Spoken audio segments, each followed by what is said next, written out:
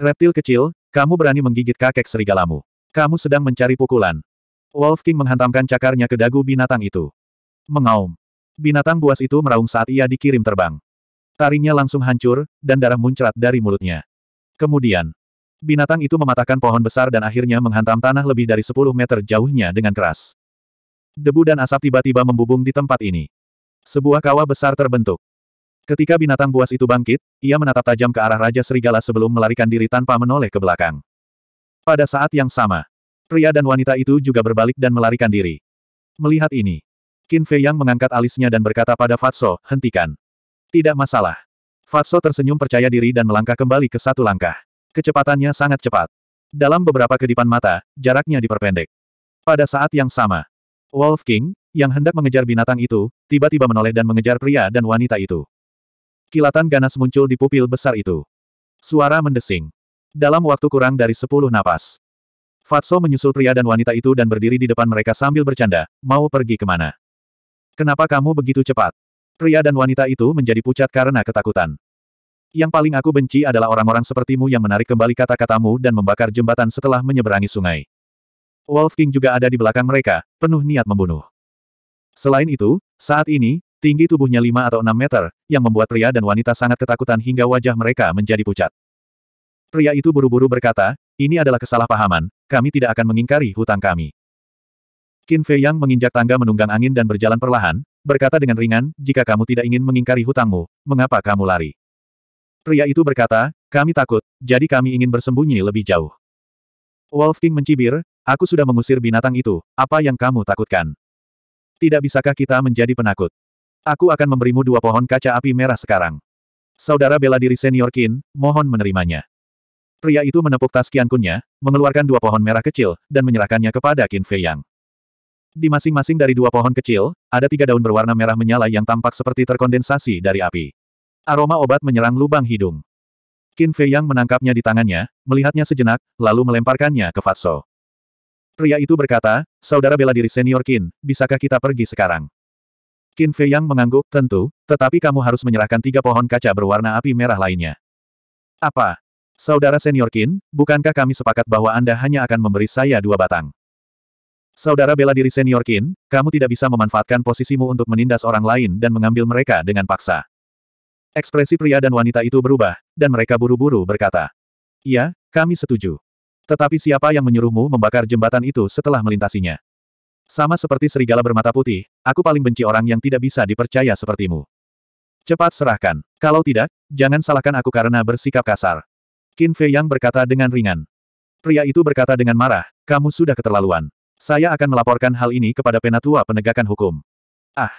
Dia telah menyelamatkan hidup mereka. Bukan saja mereka tidak tahu cara bersyukur, tapi malah mengeluh duluan. Kedua orang dan serigala itu saling memandang, mata mereka penuh sarkasme. Bahkan jika kamu ingin melaporkannya kepada penatua penegakan hukum, kamu harus menyerahkannya sekarang. Serigala bermata putih, lakukanlah. Teriakin Fei Yang. Tunggu, Aku akan menyerahkannya. Tubuh dan pikiran pria itu bergetar. Dia buru-buru mengeluarkan tiga pohon kaca berwarna api merah yang tersisa dan menyerahkannya kepada Qin Fei Yang dengan enggan. Itu lebih seperti itu. Sudut mulut Qin Fei Yang terangkat dan dia langsung memberikannya pada pria gemuk itu. Fatso juga tersenyum dan memasukkannya ke dalam tas Qian Kun miliknya. Pria itu berkata, bisakah Anda melepaskan kami sekarang? Tentu. Qin Fei Yang menyingkir dan menatap serigala bermata putih dengan tatapan mematikan di matanya. Raja serigala terkekeh. Pria dan wanita itu hendak pergi. Tetapi pada saat ini, Wolf King tiba-tiba menerkam dan menghancurkan kepala mereka dengan cakarnya. Mereka tewas di tempat.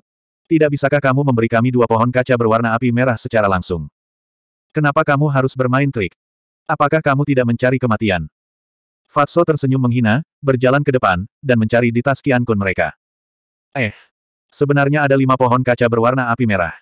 Fatso tertegun saat melihat tas Kian Kun mereka. Ada lagi. Artinya, mereka mengambil total sepuluh. Qin Fei Yang dan Raja Serigala saling memandang, mata mereka penuh rasa tidak percaya. Kapan pohon kaca berwarna merah api menjadi begitu melimpah? Fatso berkata dengan semangat, mungkinkah ada tumbuhan lain di dalam sarang binatang itu? Ayo pergi dan lihat. Wolf King juga menjadi bersemangat. Tapi tiba-tiba, pupil matanya mengecil dan ia menggunakan kekuatannya untuk mengendus. Udara dipenuhi bau manusia. Tapi itu bukan bau Qin Fei Yang dan Fatso. Dan itu bukanlah bau laki-laki dan perempuan. Ada orang ketiga yang hadir. Ia melihat sekeliling dan tiba-tiba menatap semak yang jaraknya puluhan meter di sebelah kiri dan berteriak, siapa di sana? Hem. Qin Fei Yang dan Fatso terkejut dan buru-buru menoleh, mata mereka berkedip dingin. Mereka sangat percaya pada indera penciuman Wolf King. Kalau dia bilang ada seseorang, pasti ada seseorang. Dan memang ada seseorang yang bersembunyi di semak-semak. Itu adalah seorang pemuda berkulit putih, berusia sekitar 25 atau 26 tahun. Pakaiannya juga berlumuran darah, namun temperamen dan penampilannya cukup luar biasa. Kami sudah ketahuan. Pemuda berbaju putih itu mengerutkan kening. Tidak bisa melihatnya. Kalau begitu jangan salahkan kami karena tidak sopan. Saudara Wolf berteriak dan mengangguk ke arah Fatso dan Qin Fei Yang. Kedua pria dan serigala itu segera meluncur dengan kecepatan penuh, aura pertempuran mereka melonjak, dan bergegas menuju semak-semak. Tunggu. Pemuda berbaju putih itu tiba-tiba berdiri dan mengulurkan tangannya sambil tersenyum. Jangan salah paham, saya hanya seorang pejalan kaki. Pejalan kaki. Siapa yang kamu coba bodohi? Mengapa orang yang lewat bersembunyi di sana secara diam-diam? Raja Serigala mencibir. Qin Fei yang memandangi dada pemuda berbaju putih itu, pupil matanya sedikit mengecil. Ada sulaman panah kecil di dadanya. Itu adalah orang-orang dari Aula Seni Bela Diri lagi. Pemuda berpakaian putih itu menangkupkan tangannya dan berkata, saya sebenarnya hanya seorang pejalan kaki dan tidak melihat apa pun. Mohon jangan khawatir, Saudara Qin. Saya tidak ingin terlalu khawatir. Tapi saya tidak punya pilihan. Saya hanya percaya bahwa orang mati tutup mulut. Qin Fei yang tertawa. Meskipun mereka membunuh laki-laki dan perempuan itu karena mereka mengkhianati mereka terlebih dahulu, mereka tidak mencatatnya pada saat itu. Jika orang ini memberitahu petinggi aula seni bela diri dan melebih-lebihkannya, petinggi aula seni bela diri pasti akan berpikir bahwa mereka membunuh kedua orang itu karena keserakahan. Saat itu, mereka tidak akan mampu membela diri. Lagi pula, pria dan wanita itu memiliki sepuluh pohon kaca merah. Tidak ada yang bisa menahan godaan ini. Pemuda berkulit putih itu mengerutkan kening dan berkata, jadi, saudara Qin ingin bertarung sampai mati. Qin Fei yang tersenyum tipis dan berkata, sepertinya ini satu-satunya cara. Aura orang ini sangat kuat, dan dia tidak bisa melihatnya.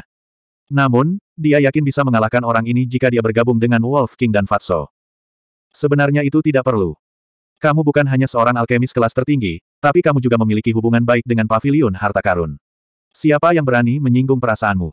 Saya adalah orang yang memahami situasi. Saya tahu apa yang harus dikatakan dan apa yang tidak boleh dikatakan. Apalagi kalau kita benar-benar bertarung, masih belum diketahui siapa yang akan menang. Apakah ada kebutuhan untuk membuat kedua belah pihak menderita karena masalah sekecil ini? Pemuda berbaju putih itu tertawa. Sangat percaya diri. Kalau begitu, Saudara Wolf, saya benar-benar harus mencobanya. Raja Serigala menyeringai dan melambaikan cakarnya yang besar. Ia mengambil beberapa langkah ke depan dan battle key-nya melonjak saat ia menyerang dengan sekuat tenaga. Dia adalah Kaisar Tempur Bintang 4. Ditambah dengan peningkatan battle art yang unggul, kekuatan serangan ini cukup untuk bersaing dengan Seven Star Combat King. Namun, Pemuda berkulit putih tidak panik sama sekali. Dia mengangkat lengannya dan dengan santai menamparkan kaki Raja Serigala itu dengan suara keras. Segera, Wolf King terlempar dan menabrak pohon besar di sampingnya. Qin Fei Yang dan Fatso saling memandang, dengan sedikit keterkejutan di mata mereka. Kekuatan orang ini sepertinya lebih kuat dari yang mereka duga. Aku sudah menunjukkan belas kasihan. Jika aku menggunakan kekuatan penuhku, cakar Wolf King pasti sudah lumpuh sekarang. Saudara Qin, ini cukup untuk membuktikan ketulusanku. Pemuda berbaju putih itu tertawa. Qin Fei yang sedikit mengernyit. Perkataan dan tindakan orang ini sepertinya tidak mengandung niat jahat. Qin Fei yang berkata, dengan kekuatanmu, kamu seharusnya bukan siapa-siapa, siapa kamu? Pemuda berbaju putih itu tertawa dan berkata, saya Dong Zeng, murid aula seni bela diri. Saya Raja Tempur Bintang Delapan. Dong Zeng. Qin Fei yang bingung. Kenapa dia belum pernah mendengar tentang dia? Wolf King bangun dalam keadaan menyesal. Matanya berkilat tajam dan berkata, aku tidak peduli siapa namamu. Hari ini, kita harus bertarung sampai mati. Tunggu. Qin Fei Yang mengulurkan tangannya dan menghentikan Raja Serigala. Dia memandang Dong Zeng dan berkata, pergi. Kalau begitu kita akan bertemu lagi. Dong Zeng menangkupkan tangannya dan tersenyum. Dia berubah menjadi aliran cahaya dan pergi. Wolf King berkata dengan marah, Qin Zi kecil, apakah kamu akan membiarkan dia pergi begitu saja? Jangan khawatir. Qin Fei Yang mengeluarkan kristal gambar dan dengan cepat mengaktifkannya. Setelah beberapa saat, citra Huang San memadat. Huang San tersenyum patuh dan berkata, jadi itu kakak senior Qin. Apa yang bisa saya bantu? Qin Fei Yang bertanya, apakah Anda kenal seseorang bernama Dong Zeng? Iya. Dia adalah sosok terkenal di aula seni bela diri. Bersama dengan Dong Fang Yue, Sao Jian, dan Lu Ziang, mereka disebut empat kebanggaan aula seni bela diri. Lagi pula, dia dan Dong Cheng adalah saudara. Huang San menjelaskan sedikit dan bertanya dengan ragu, Saudara senior Qin, mengapa kamu tiba-tiba bertanya tentang dia? Saya kebetulan bertemu dengannya. Seperti apa kepribadiannya? Qin Fei yang bertanya. Dia tipikal orang yang menyembunyikan pisau di senyumannya. Meskipun namanya mengandung kata, Zeng, dia sebenarnya sangat munafik, berbahaya, dan kejam.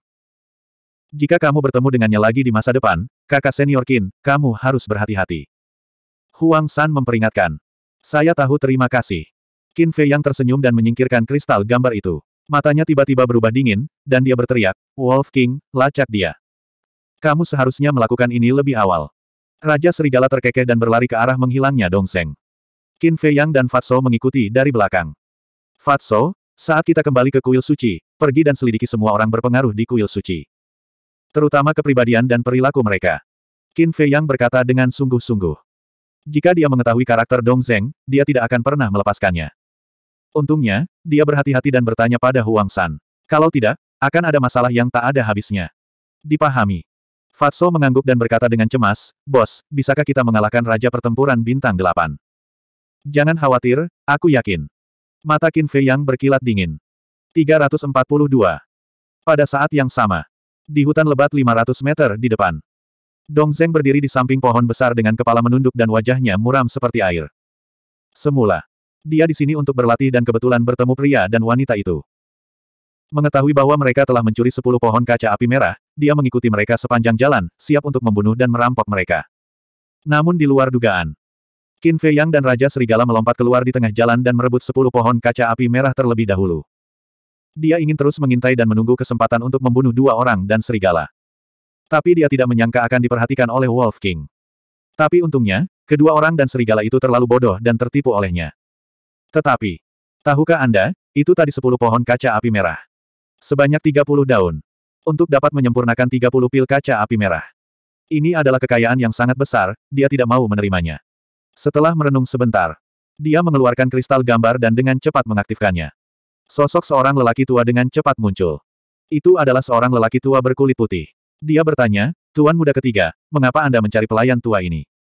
Dong Zeng berkata, Butler, segera bawa seseorang keluar kota. Kepala pelayan itu sedikit terkejut dan bertanya dengan bingung, mengapa kita pergi keluar kota? Dong Cheng berkata dengan muram, saya menemukan sepuluh pohon kaca api merah, tapi Qin Fei yang mengalahkan saya. Qin Fei Yang juga berada di luar kota. Kepala pelayan itu terkejut. Dong Cheng mengangguk dan berkata, dia, si gendut itu, dan serigala bajingan itu ada di hutan di belakangku. Perilaku mereka tidak kuat kan? Dengan kekuatan tuan muda ketiga saat ini, bukankah mudah untuk menyelesaikannya? Kepala pelayan itu bingung. Jika aku bisa menyelesaikannya, apakah aku akan mencarimu? Kemarin, saya menerima kabar bahwa lengan Sao Jian diremukkan oleh Qin Fei Yang. Kekuatan Sao Jian sama dengan milikku. Bahkan Sao Jian bukanlah lawannya, aku pasti tidak bisa. Singkatnya, cepat datang dan hilangkan rasa malu Dong Cheng. Dong Zeng berkata dengan tegas. Tuan muda ketiga, jangan khawatir. Membunuh Qin Fei Yang bukanlah masalah kecil. Pelayan tua ini akan pergi dan bertanya kepada Patriark. Kata kepala pelayan. N. Dong Zeng mengangguk. Setelah Dong Zeng memberitahu kepala pelayan koordinatnya, kepala pelayan mematikan kristal gambar. Qin Fei Yang, jadi bagaimana jika kamu adalah seorang alkemis kelas atas? Selama kamu meninggalkan kuil suci dan ibu kota negara bagian, kamu akan menjadi ikan di talenan, menunggu untuk disembelih. Dong Zeng berbisik, matanya bersinar dengan cahaya yang tajam. Namun, dia tidak mengetahuinya. Tak jauh dari situ, ada batu hitam. Dua orang dan seekor serigala bersembunyi di balik batu, memandangnya seperti seekor harimau sedang mengawasi mangsanya. Jarak lebih dari 500 meter tidak berarti apa-apa bagi mereka sekarang. Mereka sudah menyelinap ketika Dong Zeng sedang berbicara dengan kepala pelayan.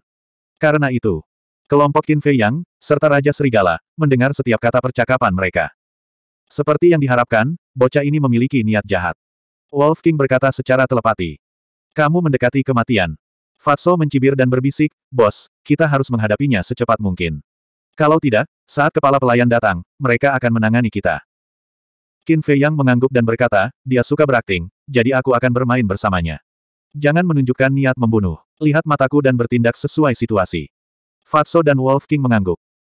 Qin Fei Yang berjalan keluar dari balik batu, dengan senyum tipis di wajahnya, dan berkata dengan keras, jadi kamu di sini, aku sudah lama mencarimu. Setelah mengatakan itu, dia berlari menuju Dong Zeng bersama Wolf King dan Fatso. N.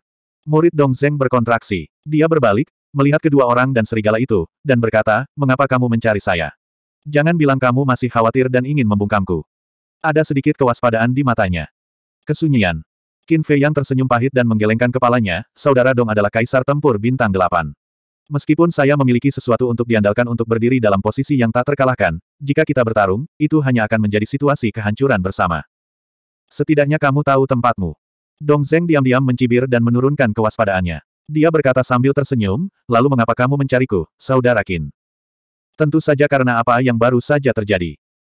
Kak Dong, sejujurnya, aku tidak percaya kamu akan tutup mulut, tapi aku tidak bisa membungkamu. Saya sudah memikirkannya dan akhirnya menemukan cara untuk memuaskan kedua belah pihak. Qin Fei Yang berkata sambil tersenyum. Ke arah mana? Dong Zeng bertanya. Namun di dalam hatinya, dia mencibir. Siapa yang peduli metode apa yang Anda temukan? Bagaimanapun, aku tidak hanya akan merebut sepuluh pohon glasir api merah, aku juga akan mengambil nyawamu. Qin Fei Yang berkata, bukankah ada sepuluh pohon kaca merah? Kami akan membaginya secara merata. Dengan cara ini, Anda tidak akan bisa mengatakan apa pun. Dong Zeng berkata sambil tersenyum, kau menyeretku ke dalam masalah ini. Bull, kau benar-benar licik. Bagaimana jika aku tidak menginginkannya? Qin Fei Yang berkata, kalau begitu kita hanya bisa bertarung sampai mati. Dong Zeng mengerutkan kening dan berkata, jadi, saya hanya perlu setuju. Iya. Qin Fei Yang mengangguk dan tersenyum. Mendesah. Dong Zeng menghela napas dalam-dalam dan mengangguk, Yah, siapa yang memintaku begitu sial bertemu denganmu? Anggap saja sebagai berteman. Haha. Saudara Dong memang orang yang memahami gambaran besarnya. Aku, Qin Fei Yang, akan berteman denganmu. Aku akan memberimu pohon kaca merah segera. Qin Fei Yang tertawa, berjalan ke depan Dong Zeng, dan meletakkan tangannya di dadanya. Rumornya orang ini sangat sulit dihadapi, tapi sekarang sepertinya dia biasa saja. Dong Zeng bergumam diam-diam, dan rasa jijik muncul di hatinya. Namun, yang diambil Qin Fei Yang bukanlah pohon kaca merah. Itu adalah Chang Sui. Jarak keduanya terlalu dekat, dan mereka bisa saling bersentuhan. Dong Zeng juga benar-benar kehilangan kewaspadaannya. Engah. Darah tiba-tiba muncul. Qin Fei Yang berhasil menyelesaikan penyergapan. Dia menusuk dada Dong Zeng dengan pedangnya dan mengenai jantungnya. Langsung. Rasa sakit yang menyayat hati melanda tubuh dan pikirannya seperti gelombang yang bergulung. Dong Zeng tercengang. Dia secara naluriah melihat ke bawah, dan ketika dia melihat belati di dadanya, matanya dipenuhi rasa tidak percaya. Mulut Qin Fei yang sedikit terangkat, dan berbisik di telinga Dong Zeng, apakah kamu sangat terkejut? Kamu memang pandai menyamar, bahkan aku hampir tertipu olehmu. Tapi kamu terlalu meremehkanku. Aku, Qin Fei Yang, bisa hidup sampai hari ini, bukan karena keberuntungan. Dari segi akting, kamu masih jauh dari itu. Setelah Qin Fei Yang selesai berbicara, dia mengeluarkan Chang Sui dan menusuk perut bagian bawah Dong Zeng seperti kilat. Ah! Bahkan jika aku mati, aku akan menyeretmu turun bersamaku. Dong Zeng menjerit, matanya penuh kedengkian, dan jiwa pertempuran di belakangnya melayang ke udara. Hai! Raja Serigala menyeringai. Bayangan binatang emas besar muncul entah dari mana, dan langsung menelan jiwa pertempuran Dong Zeng. Bagaimana ini mungkin? Mata Dong Zeng melebar karena marah. Ada banyak hal yang tidak dapat kamu pikirkan, tapi sayangnya, kamu tidak memiliki kesempatan untuk mengetahuinya. Qin Fei yang tersenyum dingin dan menendang perut bagian bawah Dong Zeng. Bang! Dong Zeng terlempar dan terhempas ke batu biru. Dia memuntahkan seteguk darah dan jatuh ke tanah, mati di tempat. Anak kecil, beraninya kamu bertarung dengan kami, kamu benar-benar ceroboh. Sebagai tuan muda ketiga keluarga Dong, pasti ada banyak harta karun di karung kosmosmu. Fatso menjilat bibirnya dan berjalan menuju Dong Zeng. Jangan serakah, cepat pergi. Qin Fei yang meraih Fatso, dan pada saat yang sama, melambaikan tangannya yang lain untuk membuka portal. Tapi saat ini, lebih dari sepuluh sosok muncul begitu saja. Pemimpinnya adalah kepala pelayan keluarga Dong. Tuan muda ketiga. Melihat Dong Zeng terbaring dalam genangan darah, Butler Dong mengertakkan gigi, dan niat membunuhnya melonjak.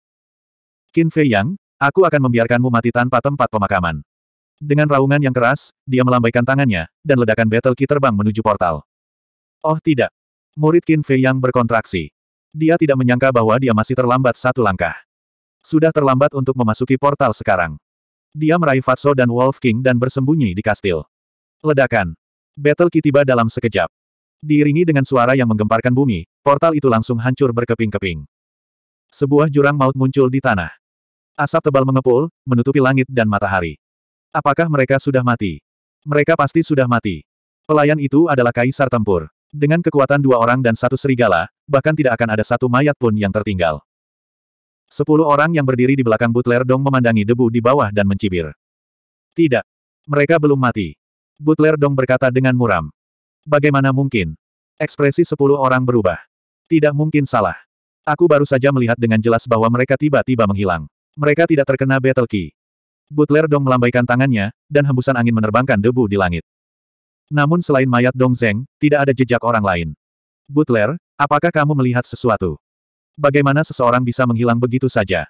Sepuluh orang itu menunduk dengan wajah ragu. Apakah mataku benar-benar mempermainkanku? Butler Dong mengerutkan kening. Tidak. Tentu saja tidak. Di mana seharusnya dua orang dan satu serigala bersembunyi sekarang. Tapi di mana mereka bersembunyi? Butler Dong menoleh untuk melihat pria kekar di sebelah kiri dan berkata dengan muram, turun dan bawa tuan muda ketiga ke atas. Lihat apakah dia bisa diselamatkan.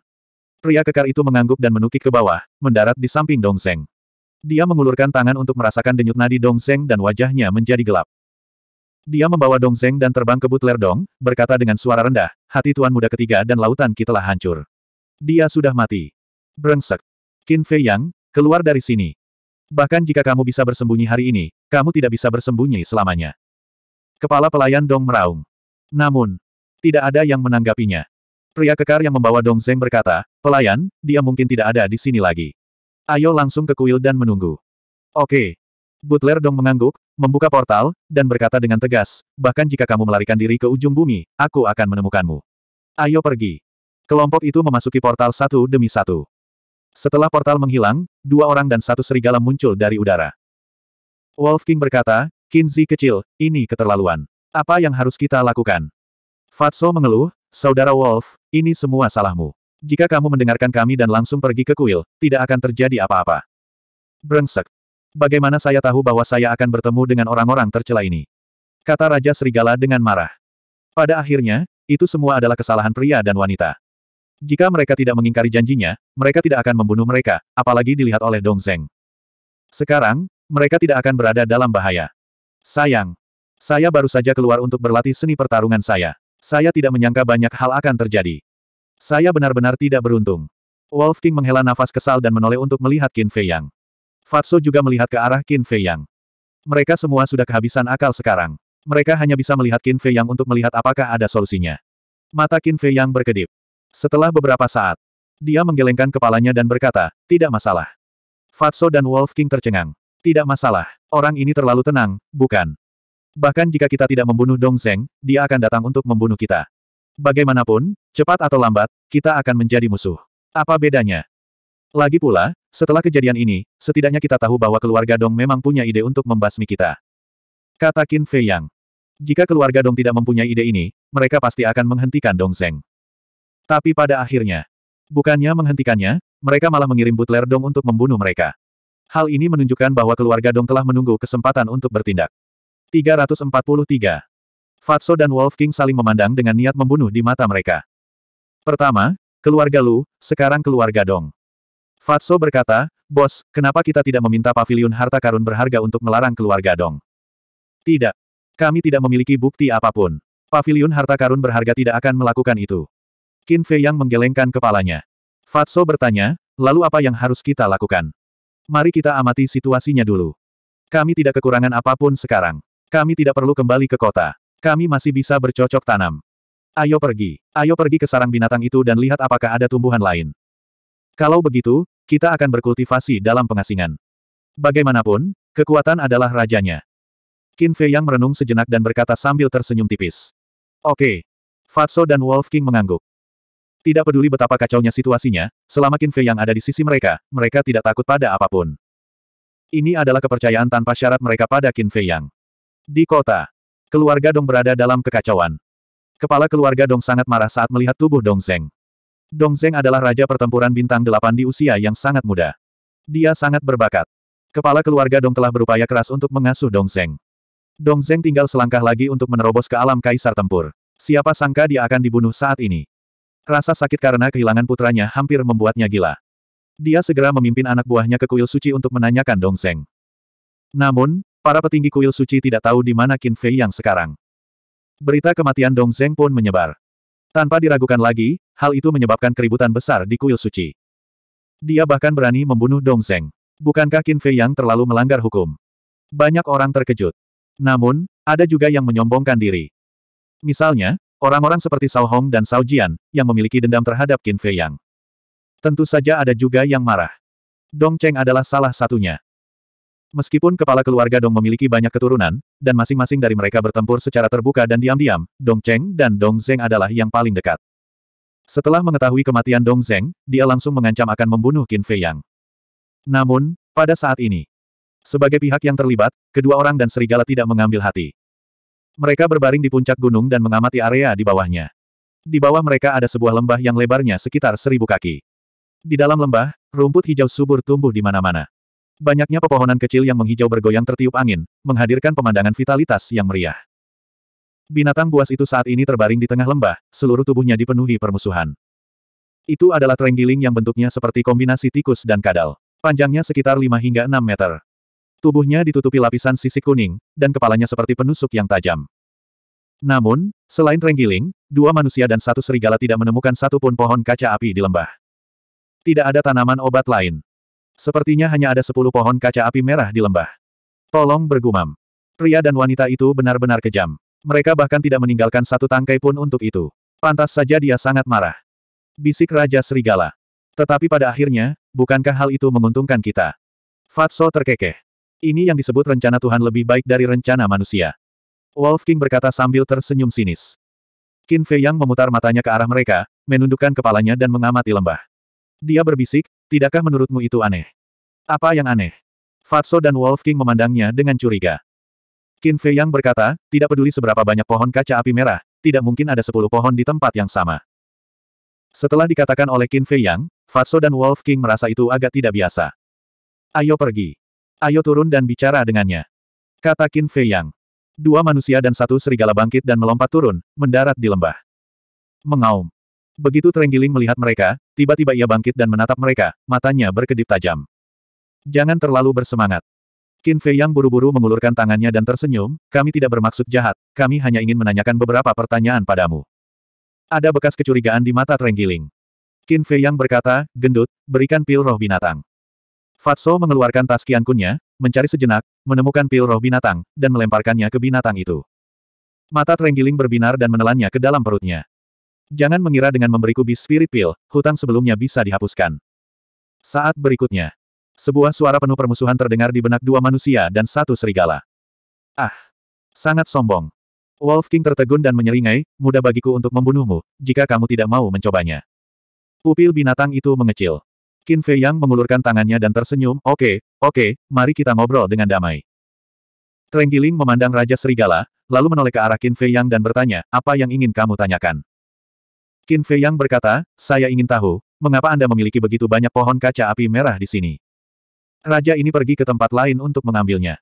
Trenggiling tidak menyembunyikan apa pun dan berkata jujur. Di mana? Qin Fei Yang bertanya. Lembah kupu-kupu. Kata Trenggiling. Lembah kupu-kupu. Kedua pria dan satu serigala saling memandang, mata mereka dipenuhi keraguan. Binatang itu berkata, lembah kupu-kupu berada di bagian terdalam dari pegunungan. Ada banyak tanaman obat yang berharga di dalamnya, namun dengan kekuatanmu, mustahil bagimu untuk mencapai lembah kupu-kupu. Fatso bertanya, mengapa? Trenggiling berkata, karena ada banyak kaisar binatang buas di jalan, dan bahkan penguasa alam perang. Wolf King bertanya dengan ragu, karena sangat berbahaya, lalu bagaimana kamu bisa sampai ke sana? Raja ini beruntung. Ada sedikit rasa bangga di mata Trenggiling. Cek. Wolf King dengan nada menghina berkata, sepertinya aku perlu melonggarkan kulitmu agar kamu bisa mengatakan yang sebenarnya. Ia mencibir saat berjalan menuju binatang itu. Hanya orang bodoh yang percaya bahwa binatang ini mengandalkan keberuntungan untuk mencapai bagian terdalam pegunungan. Pasti ada jalan pintas. Melihat ini, Trenggiling itu jelas sedikit bingung, dan buru-buru berkata, tunggu, raja ini bisa memberitahumu, tapi kamu harus menyetujui syarat raja ini dulu. Wolf King berkata dengan nada meremehkan, apakah Anda masih memiliki kualifikasi untuk membicarakan kondisi sekarang? Jangan terlalu sombong. Qin Fei yang memelototinya, lalu menatap Trenggiling dan berkata, katakan padaku. Raja ini menginginkan pil transformasi dan pil penghancur penghalang. Selanjutnya, saya ingin setengah dari ramuan obat diperoleh dari lembah kupu-kupu. Kata Trenggiling. Setengah.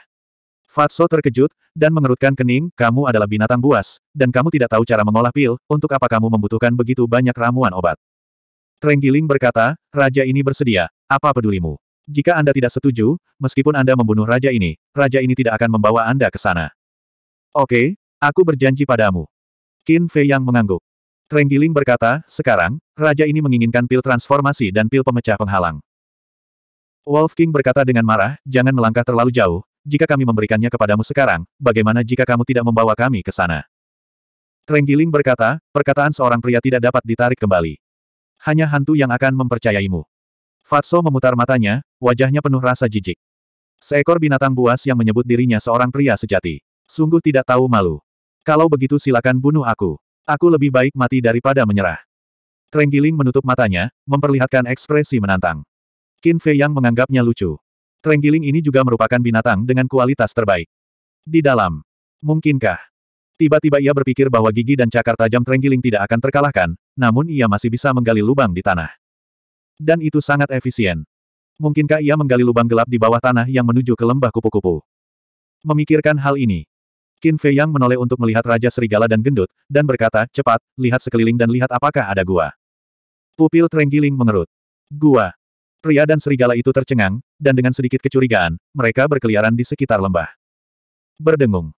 Qin Fei Yang juga hendak melihatnya, tetapi pada saat ini, kristal gambar mengeluarkan suara. Dia mengerutkan kening, berjalan ke sudut, dan mengeluarkan kristal gambar. Sosok ilusi muncul. Itu adalah Lu Yun. Qin Fei Yang bertanya sambil tersenyum, Penatua Lu, ada apa? Bagaimana kamu masih bisa tersenyum? Katakan padaku, apa yang telah kamu lakukan? Lu Yun segera berteriak dengan marah. Eh. Qin Fei Yang terkejut dan berkata sambil tersenyum malu, Tetua, ini bukan salahku. Lalu salah siapa? Salahku. Setelah masalah dengan keluarga lu selesai, sudah kubilang berkali-kali padamu untuk berhenti. Sekarang, kamu juga telah membunuh Dong Seng. Kenapa kamu begitu suka membuat masalah untukku? Sekarang, keluarga Dong memaksaku untuk menyerahkanmu. Katakan padaku, apa yang harus aku lakukan terhadap mereka? Lu Yun berkata dengan marah. Tetua, tenanglah. Ini sebenarnya bukan salahku. Qin Fei yang segera menceritakan seluruh kejadian secara detail. Setelah mendengarnya, Lu Yun segera mengerutkan kening dan merenung sejenak sebelum bertanya, benarkah? Jika murid ini berbohong, bolehkah saya disambar petir? Qin Fei yang menunjuk ke langit dan bersumpah. Saya baru saja keluar untuk berlatih seni pertarungan saya, dan saya benar-benar menemui hal seperti itu. Mendesah. Saya benar-benar tidak tahu sekarang. Haruskah saya mengatakan bahwa Anda beruntung? Atau haruskah aku mengatakan bahwa kamu dilahirkan untuk menjadi pembawa sial? Lu Yun menghela nafas tak berdaya dan bertanya, apakah kamu punya bukti? Tidak. Qin Fei yang menggelengkan kepalanya. Dia tidak tahu cara menghitungnya, jadi bagaimana dia tahu ini akan terjadi? Kalau begitu, tidak ada yang bisa kulakukan. Bahkan jika aku mempercayaimu, orang lain tidak akan mempercayainya. Dan sekarang, aku tidak bisa membelamu karena orang lain akan mengatakan bahwa aku memihakmu. Lu Yun berkata sambil mengerutkan kening. Setelah menghabiskan beberapa waktu bersama, dia kurang lebih memahami karakter Qin Fei Yang. Dia bukanlah seseorang yang mengambil inisiatif untuk menimbulkan masalah. Tapi kuncinya adalah tidak ada bukti. Sekarang, keluarga Dong bersikeras bahwa Qin Fei Yang lah yang pertama kali menimbulkan masalah. Bahkan jika dia memiliki seratus mulut, dia tidak akan bisa membersihkan nama Qin Fei Yang. Qin Fei Yang bertanya, Tetua, apa yang dikatakan keluarga Dong tentang masalah ini kepada publik? Mereka bilang kaulah yang membunuh mereka demi kekayaan mereka. Apalagi mereka sengaja menyebarkan berita tersebut. Sekarang, hampir semua orang di ibu kota negara bagian mengetahuinya. Mereka semua berteriak bahwa mereka ingin membunuhmu untuk menyingkirkan dunia kejahatan. Singkatnya, situasinya sangat serius. Lu Yun terlihat khawatir dan merasa sangat kesal. Huff, biarkan mereka menimbulkan masalah. Semakin banyak mereka menimbulkan masalah, semakin buruk akibatnya ketika kebenaran terungkap. Qin Fei yang mendengus dingin saat kilatan dingin melintas di matanya. Lu Yun terkejut ketika dia bertanya, apakah itu berarti kamu sudah punya rencana? Qin Fei yang tersenyum tipis dan berkata, tidak sulit untuk menyelesaikan situasi saat ini, tapi ada sesuatu yang harus saya urus. Aku berkata, bocah nakal, tahukah kamu betapa seriusnya situasinya? Apa yang lebih penting daripada kepolosanmu? Lu Yun sangat marah. Dia akan mati karena kecemasan. 344. Qin Fei yang berkeringat di seluruh tanah. Lu Yun ini benar-benar pemarah. Namun, kesannya terhadap Lu Yun tidak diragukan lagi telah meningkat ke tingkat yang lebih tinggi. Melihat Qin Fei yang tetap diam, Lu Yun merasa semakin tidak berdaya. Lupakan. Aku terlalu malas untuk mengatakan apa pun. Terserah kamu. Untuk jangka waktu ini, aku akan memperlakukannya seolah-olah kamu sudah mati. Selesai. Dia segera mematikan image kristal. Qin Fei yang menggelengkan kepalanya dan tersenyum pahit. Berikutnya, Yan Nanshan, Ren Wushuang juga mengirim pesan ke Qin Fei Yang. Pada awalnya, nadanya mencela. Namun saat mengetahui kebenarannya, keduanya menjadi geram. Namun, di bawah instruksi Qin Fei Yang, keduanya tidak mengatakan apa-apa dan membiarkan keluarga Dong membuat keributan. Tidak lama kemudian, Yin Yuanming dan Huang San juga mengirim pesan ke Qin Fei Yang. Namun, Qin Fei Yang tidak memperhatikan pesan mereka. Ini karena dia dan Yin Yuanming hanya memiliki hubungan kepentingan dan tidak dapat diandalkan. Tak perlu dikatakan lagi, Huang San benar-benar penjaga pagar, bahkan lebih tidak bisa diandalkan daripada Yin Yuanming. Bos, ada sebuah gua di sini. Saat ini, suara terkejut Fatso terdengar. Di tanah di depannya terdapat lubang selebar 7 hingga 8 meter. Bagian dalamnya gelap gulita. Qin Fei yang sangat gembira, dia menyimpan image kristal dan berlari menuju Fatso. Pada saat yang sama, Trenggiling juga berlari seperti kepulan asap. Apalagi dia menggunakan tubuhnya untuk memblokir pintu masuk gua. Wolf King berlari mendekat dan berteriak, minggir. Trenggiling berkata, jika kamu tidak memberiku pil transformasi dan pil penghancur penghalang terlebih dahulu, aku tidak akan melepaskanmu bahkan jika kamu memukulku sampai mati. Tidak tahu malu. Kedua pria dan satu serigala saling memandang. Lagi pula, itu adalah binatang buas panglima perang, mungkinkah ia memiliki tulang punggung? Wolf King terkekeh, apakah kamu benar-benar berpikir aku tidak berani membunuhmu? Trenggiling mendengus dingin, jika kalian berani bergerak, raja ini akan merobohkan gua ini dan membuat kalian semua menonton tanpa daya. Kakak memiliki temperamen yang buruk, lihat apakah aku tidak memukulmu sampai mati hari ini.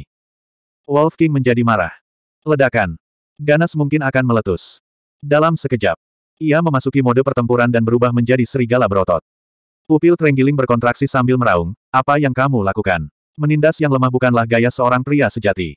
Apakah aku terlihat seperti pria terhormat bagimu? Wolf King marah sekaligus geli. Trenggiling ini terlalu keterlaluan. Ia memutar matanya dan terkekeh. Serangga kecil, kamu terlihat menyenangkan. Kenapa kamu tidak menjadi adikku? Cek. Mata Trenggiling dipenuhi dengan rasa jijik.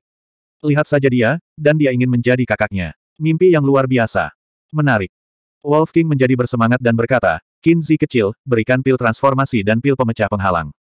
Apa kamu yakin? Qin Fei Yang bertanya. Wolf King mengangguk ketika senyum sinis melintas di matanya. Qin Fei Yang menggelengkan kepalanya dan tertawa. Dia berkata kepada Fatso, beri aku ramuannya. Setelah Fatso memilah dua set ramuan tersebut, Qin Fei Yang memasuki kastil kuno dan memurnikannya dalam waktu kurang dari seratus napas. Setelah meminum pil transformasi dan pil pemecah penghalang, Trenggiling mulai tumbuh semakin besar. Itu sangat menyenangkan. Fatso berkata, bisakah kamu memimpin sekarang? Saya tidak perlu memimpin. Masuk ke dalam gua dan terus berjalan. Kamu akan tiba sekitar 10 hari atau setengah bulan. Masih ada yang harus kulakukan, jadi aku pergi dulu. Di tengah perkataannya, Trenggiling berubah menjadi seukuran telapak tangan dan menyelinap pergi. Lelucon yang luar biasa. Serigala bajingan itu telah mengamati mereka dengan iri. Jika diikuti, pasti tidak akan menyenangkan. Hei, kamu ingin lari. Wolf King menyeringai, berubah menjadi seukuran telapak tangan, dan melompat ke bahu Fatso. Fatso segera mengejarnya. Trenggiling adalah Raja Pertempuran Bintang 4. Meskipun Fatso adalah Raja Pertempuran Bintang 2, dia telah menguasai teknik bela diri tambahan tingkat tinggi. Kecepatannya sebanding dengan Raja Pertempuran Bintang 5. Sebelum Trenggiling bisa keluar dari lembah, dia memimpin dan berdiri di depan Trenggiling. Fatso berkata sambil tersenyum licik, anak kecil, kamu ingin pergi ke mana? Trenggiling berkata dengan marah, aku sudah bilang padamu. Apa lagi yang kamu inginkan? Wolf King berkata, tidak ada, aku hanya ingin kamu ikut denganku. Trenggiling menggelengkan kepalanya dan berkata, saya tidak pergi. Kamu meminta pemukulan. Wolf King melompat turun, langsung mengaktifkan Berserk Rage dan memasuki mode pertarungan. Trenggiling berkata dengan marah, kamu tidak masuk akal. Hai, Wolf King membuka mulutnya dan menerkam Trenggiling, memukulinya. Fatso yang berada di samping tertawa terbahak-bahak hingga wajahnya kram. Trenggiling ini terlalu bodoh. Ia benar-benar mencoba berunding dengan serigala bajingan ini. Apakah itu masuk akal? Tidak ada alasan untuk memikirkannya. Aduh. Bersikaplah lebih lembut, itu menyakitkan. Tuan serigala, berhentilah memukulnya. Aku pergi, oke. Okay. Trenggiling juga mengerti bahwa jika dia tidak pergi hari ini, dia mungkin akan dipukuli sampai mati. Kenapa kamu tidak melakukan ini sebelumnya? Kenapa kamu harus memaksaku bersikap kasar?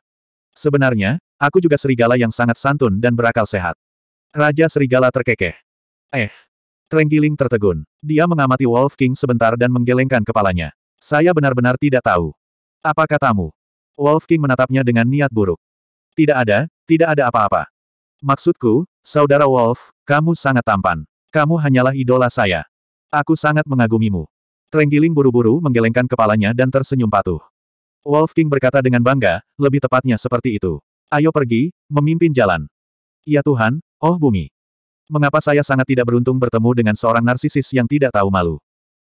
Trenggiling meratap dalam hatinya sambil dengan enggan berjalan menuju pintu masuk gua. Jangan berlama-lama, cepat. Raja Serigala menendang binatang Trenggiling dan menerbangkannya. Sambil meratap, ia jatuh ke dalam gua. Serigala bajingan, aku akan menidurimu. Raungan marah Trenggiling terdengar dari dalam gua. Oh, kamu berani memarahiku. Wolf King bergegas ke dalam gua dengan marah. Ratapan sedih terdengar lagi. Trenggiling ini akan menderita di masa depan. Fatso berjalan ke pintu masuk gua dan melihat ke dalam dengan penuh simpati. Qin Fei Yang menggelengkan kepalanya dan tertawa, lalu melompat ke dalam gua. Fatso juga ikut serta. Setelah selusin napas, keduanya mendarat di dasar gua. Fatso melambaikan tangannya, dan sekelompok pertempuran api muncul, menerangi segala arah. Di depannya, ada jalan rahasia yang menuju ke kedalaman. Ukuran jalan rahasia itu hampir sama dengan tubuh Trenggiling. Qin Fei yang berkata, oke, berhenti main-main. Kali ini Wolf King mencabut cakarnya, menendang Trenggiling, dan berteriak, pimpin jalan. Tubuh Trenggiling itu memar dan sisiknya patah. Ada juga benjolan besar di kepalanya, dan tanduk di kepalanya menonjol. Ia bangun dalam keadaan menyesal, menatap Wolf King dengan getir, dan berlari ke depan dengan perut penuh keluhan. Dua orang dan satu serigala mengikuti dari belakang. Dalam perjalanan, hari-hari Trenggiling terasa seperti bertahun-tahun. Jika Raja Serigala tidak setuju dengannya, dia akan berlari dan menghajarnya.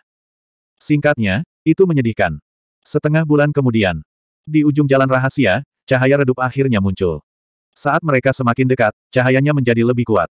Itu adalah jalan keluar dari jalan rahasia. Trenggiling berhenti dan menatap Wolf King dengan sedih, berkata, Tuan Serigala, pintu keluarnya ada di depan, bisakah Anda melepaskan saya sekarang? Wolf King berkata, kamu adalah bawahanku, jadi tentu saja kamu harus mengikutiku ke mana pun aku pergi. Trenggiling berkata dengan marah, kapan aku mengakui bahwa aku adalah bawahanmu? Kamu cukup pemarah. Wolf King terkekeh dan pergi untuk menghajarnya lagi. Dia mendengus dingin, selama kamu tidak mengakuinya, aku akan menghajarmu sampai kamu mengakuinya. Bagaimana bisa ada serigala yang tidak masuk akal? Trenggiling berteriak. Mudah untuk naik perahu, tapi sulit untuk turun. Fatso menggelengkan kepalanya dan menghela nafas. Dia menarik kembali pertempuran kinya dan memanjat. Ketika dia sampai di pintu keluar dan melihat pemandangan di luar, dia tercengang. Di luar ada ngarai yang sangat besar. Di ngarai, bunga-bunga yang tak terhitung jumlahnya bermekaran, bersaing untuk menjadi indah, membentuk lautan bunga yang luas. Di tengah bunga dan kehampaan, kupu-kupu berwarna-warni mengepakkan sayapnya yang indah dan menari dengan anggun. Selain itu, terdapat aliran sungai jernih yang berkelok-kelok dan menambah banyak warna pada ngarai. Qin Fei yang berjalan ke sisi Fatso dan juga tercengang dengan pemandangan ini. Tempat ini hanyalah surga. Fatso tiba-tiba menunjuk ke suatu tempat dan berkata dengan penuh semangat, Bos, lihat, ada pohon kaca merah di sana. Qin Fei yang menoleh. Benar saja, dia melihat pohon kecil berwarna merah menyala di antara bunga-bunga. Ada beberapa bunga sembilan matahari di sana. Dan di sini, sepertinya ada beberapa ginseng api. Lihat ke kiri, itu buah panjang umur. Seru Fatso terus-menerus. Ada berbagai macam tanaman obat yang tumbuh di semak berbunga. Tidak hanya jumlahnya banyak, tetapi masing-masingnya sangat langka. Itu membuat mereka berdua terpesona.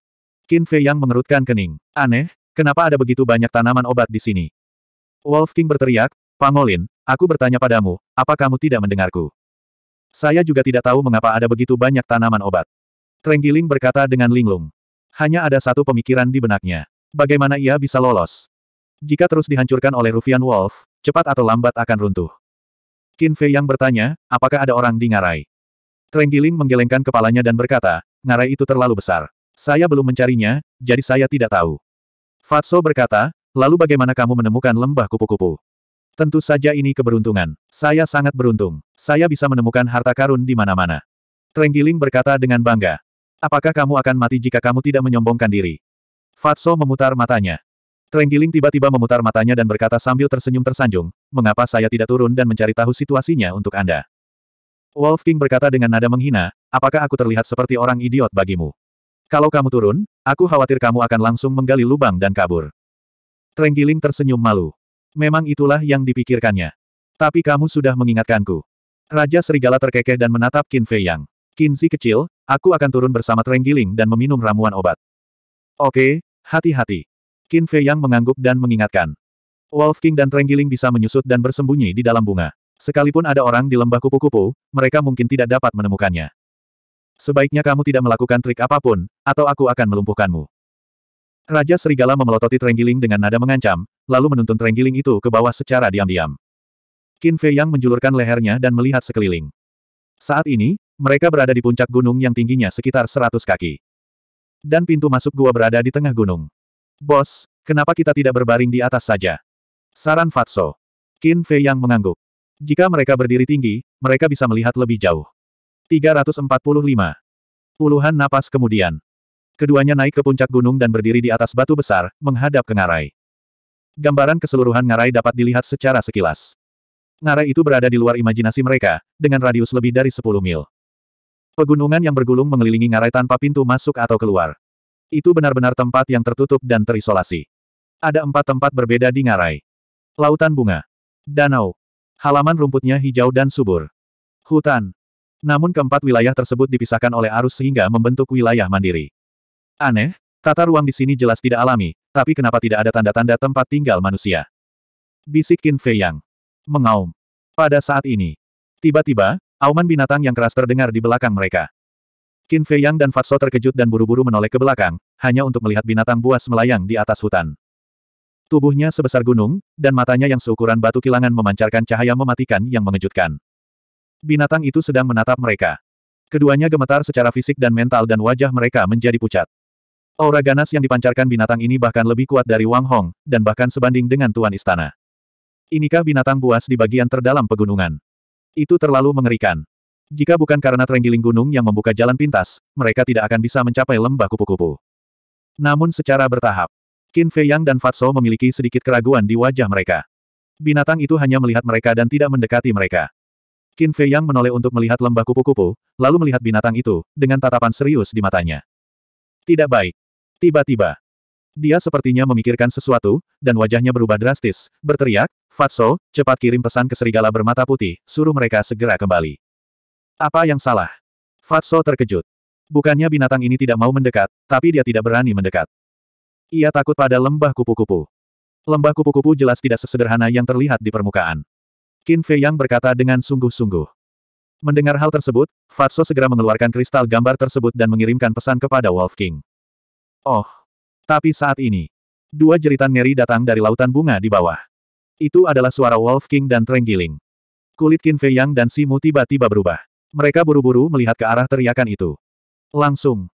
Mereka berdua berada di udara di atas lautan bunga ketika mereka melihat sesosok tubuh berwarna putih bergegas menuju hutan. Itu adalah sosok manusia.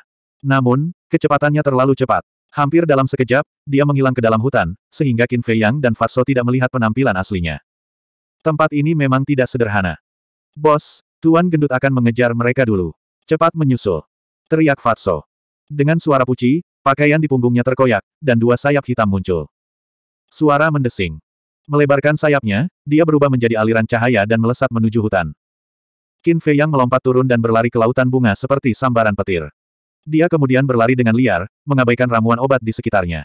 Beberapa ratus napas berlalu. Dia menyeberangi sungai dalam satu langkah dan mendarat di depan hutan. Dan Fatso sudah mengambil langkah di depannya dan memasuki hutan. Ah! Saat hendak memasuki hutan, teriakan Fatso pun terdengar, seolah-olah bertemu dengan orang yang menakutkan, dengan rasa panik yang tak bisa dibubarkan. Brengsek. Qin Fei yang mengutuk dan bergegas ke hutan tanpa ragu-ragu, berlari menuju tempat suara itu berasal. Sesaat kemudian, sebuah bangunan kayu kecil dan kuno tiba-tiba memasuki pandangannya. Bangunan kayu kecil itu memiliki total dua lantai dan terletak di tengah hutan. Dan di sisi kiri bangunan kayu kecil itu terdapat taman bunga yang indah. Segala jenis bunga sedang bertunas, indah berwarna ungu dan merah.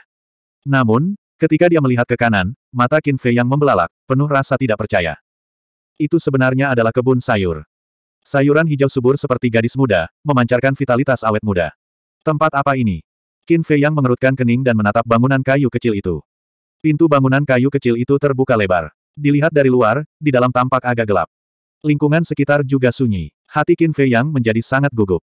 Setelah menenangkan diri, Qin Fei Yang menangkupkan tangannya dan berkata, Saya Qin Fei Yang. Saya menerobos ke lembah kupu-kupu dengan gegabah. Jika saya menyinggung perasaan Anda dengan cara apa pun, mohon maafkan saya. Namun, tidak ada tanggapan. Qin Fei Yang melanjutkan, Senior, mohon bermurah hati dan lepaskan teman-temanku. Namun, masih belum ada tanggapan. Keheningan yang mematikan membuat bulu kuduk berdiri. Qin Fei yang menelan ludahnya dan berjalan menuju bangunan kayu kecil. Namun, dia tiba-tiba berhenti setelah mengambil dua langkah. Ekspresinya menjadi sangat gugup. Bahkan, butiran keringat sebesar kacang muncul di keningnya. Dia merasa seolah ada seseorang di belakangnya. Namun, entah kenapa, dia yang selama ini tidak takut, tidak berani berbalik saat ini. Siapa ini? Dia meraung dan tiba-tiba menoleh untuk melihat. Namun, tidak ada orang di belakangnya selain hutan. Apa yang sedang terjadi? Mungkinkah itu hanya ilusi? Tapi aku dengan jelas mendengar suara nafas di belakangku. Qin Fei yang memandang ke depan dengan bingung. Namun, dia tidak dapat menemukan jejak siapa pun bahkan setelah mencari di setiap sudut. Aneh. Dia mengerutkan kening dan menoleh untuk melihat bangunan kayu kecil itu lagi. Namun, saat dia menoleh, seolah-olah dia baru saja melihat hantu, pupil matanya tiba-tiba mengerut, dan dia mundur dengan tiba-tiba. Ada seseorang berdiri di depannya. Itu adalah seorang wanita tua berpakaian putih. Dia kurus seperti korek api dan rambutnya acak-acakan. Matanya sangat cekung. Sekilas, dia tampak seperti hantu dari neraka. Sangat menakutkan. Yang lebih mengerikan lagi, sisi kanan wajahnya penuh bekas luka. Dia terlihat sangat jelek. Dalam lingkungan dan suasana seperti itu, siapa pun yang bertemu dengan orang seperti itu akan ketakutan tidak peduli siapa orangnya. Namun, Qin Fei yang dengan cepat menjadi tenang. Dia bernafas dan detak jantungnya, yang berarti dia bukan hantu.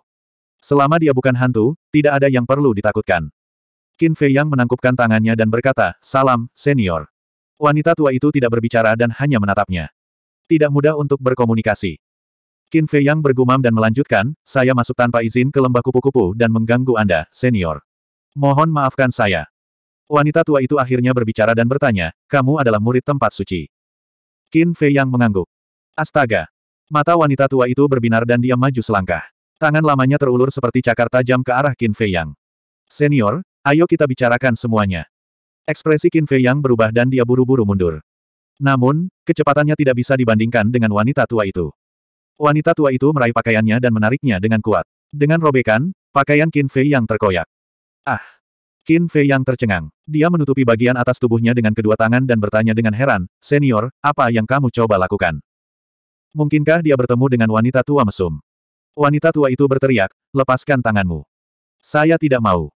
Qin Fei Yang menggelengkan kepalanya dan berkata dengan wajah pahit, saya sudah memiliki kekasih, harap hargai diri Anda sendiri, senior.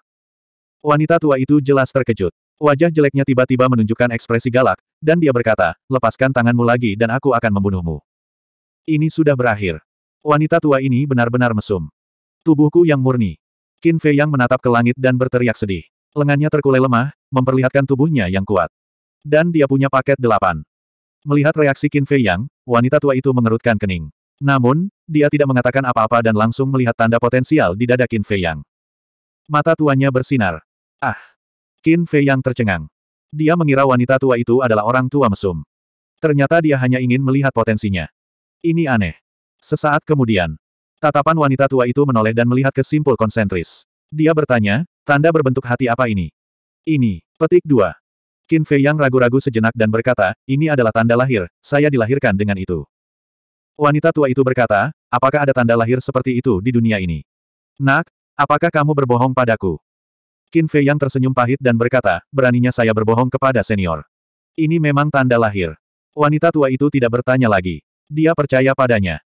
Qin Fei yang berkata, senior, bolehkah saya memakai pakaian saya? Wanita tua itu mengangguk. Qin Fei yang buru-buru mengeluarkan sepotong pakaian dan segera memakainya. Dia bertanya, Senior, aku ingin tahu apa yang terjadi pada ketiga temanku. Mati. Wanita tua itu berkata tanpa ekspresi. Apa? Ekspresi Qin Fei yang berubah. Wanita tua itu tertawa sinis, masuk tanpa izin ke lembah kupu-kupu, entah itu manusia atau binatang, mereka semua harus mati. Mati. Petik 2. Qin Fei yang bergumam. Wajahnya penuh rasa tidak percaya. Ling Yunfei dan yang lainnya telah meninggal. Wolf King dan yang lainnya juga sudah mati sekarang. Mengapa? Dia perlahan-lahan mengepalkan tangannya dan berteriak pada wanita tua itu, kamu membunuh mereka hanya karena masalah sepele. Apakah kamu masih memiliki rasa kemanusiaan? Kamu juga harus mati. Mata wanita tua itu menjadi dingin. Dasar penyihir tua sialan, aku akan membunuhmu. Qin Fei yang meraung, mengeluarkan Chang Sui, dan bergegas menuju wanita tua itu tanpa rasa takut. Hem. Ketika wanita tua itu melihat Chang Sui, cahaya aneh muncul di matanya. Jelas sekali, dia dapat melihat bahwa Chang Sui bukanlah orang biasa. Dia memiringkan tubuhnya sedikit dan dengan tenang mengelak. Pada saat yang sama, dia mengulurkan tangannya dan menamparkan bagian belakang kepala Qin Fei Yang dengan telapak tangannya seperti pisau. Merasakan datangnya bahaya, Qin Fei Yang tiba-tiba sadar kembali. Rasionalitasnya yang dibutakan oleh amarah dengan cepat menjadi tenang. Suara mendesing. Melihat telapak tangan wanita tua itu hendak memukulnya, Qin Fei yang tiba-tiba menghilang tanpa jejak. Hem. Lengan wanita tua itu berhenti, dan dia melihat sekeliling dengan heran. Tapi segera. Wajah jeleknya menunjukkan ekspresi kesadaran, dan dia berkata, keluarlah dengan cepat, aku tahu kamu bersembunyi di kastil itu. Kamu bahkan tahu ini. Bagaimana dia tahu banyak tentang aku? Di kastil. Wajah Qin Fei yang penuh dengan keterkejutan dan keraguan. Lu Hong telah terbangun, dan wajahnya penuh rasa tidak percaya. Jika kamu tidak keluar, aku benar-benar akan membunuh ketiga temanmu. Suara wanita tua itu terdengar. Qin Fei Yang dan Lu Hong saling memandang, dan sedikit keterkejutan muncul di mata mereka pada saat yang bersamaan. Kamu terus berkultivasi. Qin Fei Yang memberitahu Lu Hong, dan kemudian muncul di depan wanita tua itu dalam sekejap, dan bertanya, di mana mereka? Wanita tua itu berkata, kamu sangat ingin melihat mereka. Qin Fei Yang mengangguk. Baiklah, ikutlah denganku. Setelah wanita tua itu mengatakan itu, dia berjalan menuju bangunan kayu kecil itu. Qin Fei yang ragu-ragu sejenak, tapi akhirnya memilih untuk mengikuti. Begitu dia memasuki bangunan kayu kecil, Qin Fei yang melihat Fatso, Raja Serigala, dan Trenggiling terbaring tak sadarkan diri di tanah. Apa yang kamu lakukan pada mereka? Qin Fei yang kaget dan marah, dan buru-buru berlari untuk memeriksa kondisi mereka. Jangan khawatir, mereka hanya pingsan, tidak ada yang serius. Tapi mudah untuk masuk ke sini, tapi sulit untuk keluar. Hampir mustahil bagimu untuk meninggalkan lembah kupu-kupu hidup-hidup, kata lelaki tua itu. 346. Qin Fei yang memeriksa dengan cermat dan memastikan bahwa Fatso dan yang lainnya memang tidak sadarkan diri. Dia menghela napas lega dan menatap wanita tua itu, lalu bertanya, apa yang harus saya lakukan agar Anda bisa melepaskan kami? Dengan kekuatan penyihir tua ini, akan mudah baginya untuk membunuh mereka. Tapi dia tidak membunuh mereka sekarang. Oleh karena itu, pasti ada motif tersembunyi. Kamu adalah pemuda yang sangat cerdas. Pergi ke suatu tempat dan bantu aku menemukan sesuatu. Kata wanita tua itu. Di mana? Ada apa? Qin Fei yang bertanya. Ada api alkimia kelas 6 di tanah terlupakan yang disebut api guntur surgawi. Pergi dan bantu aku mendapatkannya. Kata wanita tua itu, matanya penuh nafsu. Api alkimia kelas 6. Mata Qin Fei yang bergetar. Api alkimia kelas 6 sangat langka, bahkan di ibu kota kekaisaran, hanya ada satu. Dia tidak menyangka bahwa keadaan spiritual akan memilikinya. Tapi di manakah negeri terlupakan ini? Dia tahu wilayah kekaisaran Qin besar seperti punggung tangannya, tapi mengapa dia tidak pernah mendengarnya? Qin Fei Yang berkata, Senior, bisakah Anda memberitahu saya tempat seperti apa tanah terlupakan itu? Wanita tua itu berkata, tanah terlupakan adalah situs kuno yang saya temukan di tahun-tahun awal saya. Situs kuno. Qin Fei Yang terkejut. Saat ini, Wanita tua itu menjentikan jarinya, dan aliran cahaya hitam mengalir ke mulut Qin Fei Yang seperti kilat. Pada saat itu, Qin Fei Yang merasa seolah ada sesuatu yang mengebor ke dalam tubuhnya. Apa yang kamu lakukan padaku? Ekspresinya berubah dan dia buru-buru memasukkan pikirannya ke dalam tubuhnya. Dia melihat gumpalan aliran udara hitam mengalir di tubuhnya, langsung menuju jantungnya. Dia buru-buru mengerahkan aura pertarungannya dan menerkam menuju aliran udara hitam. Namun, Entah itu aura naga ungu emas, aura pertarungan api, atau aura pedang merah, semuanya tidak dapat menghancurkan aliran udara hitam. Mereka juga tidak bisa memaksa aliran udara hitam keluar dari tubuhnya. Ini adalah racun hitam. Itu adalah racun yang saya kembangkan setelah tiga tahun menggunakan 99 jenis racun dan bisa. Satu tetes saja sudah cukup untuk meracuni seorang panglima perang sampai mati. Itu akan menyatu dengan hatimu dan bisa mengakhiri hidupmu kapan saja. Jangan pernah berpikir untuk menggunakan pil detoksifikasi, karena tidak ada gunanya. Hanya obat penawar khusus yang lama ini yang dapat sepenuhnya membasmi racun iblis hitam. Kata wanita tua itu. Wajah Qin Fei yang menjadi pucat. Penyihir tua ini terlalu kejam. Wanita tua itu kemudian mengeluarkan botol giok, yang berisi cairan transparan yang isinya sekitar setengahnya. Ini bukan penawar racun, tapi bisa menghentikan racunnya. Minum satu tetes setiap bulan. Itu bisa menyelamatkan hidupmu.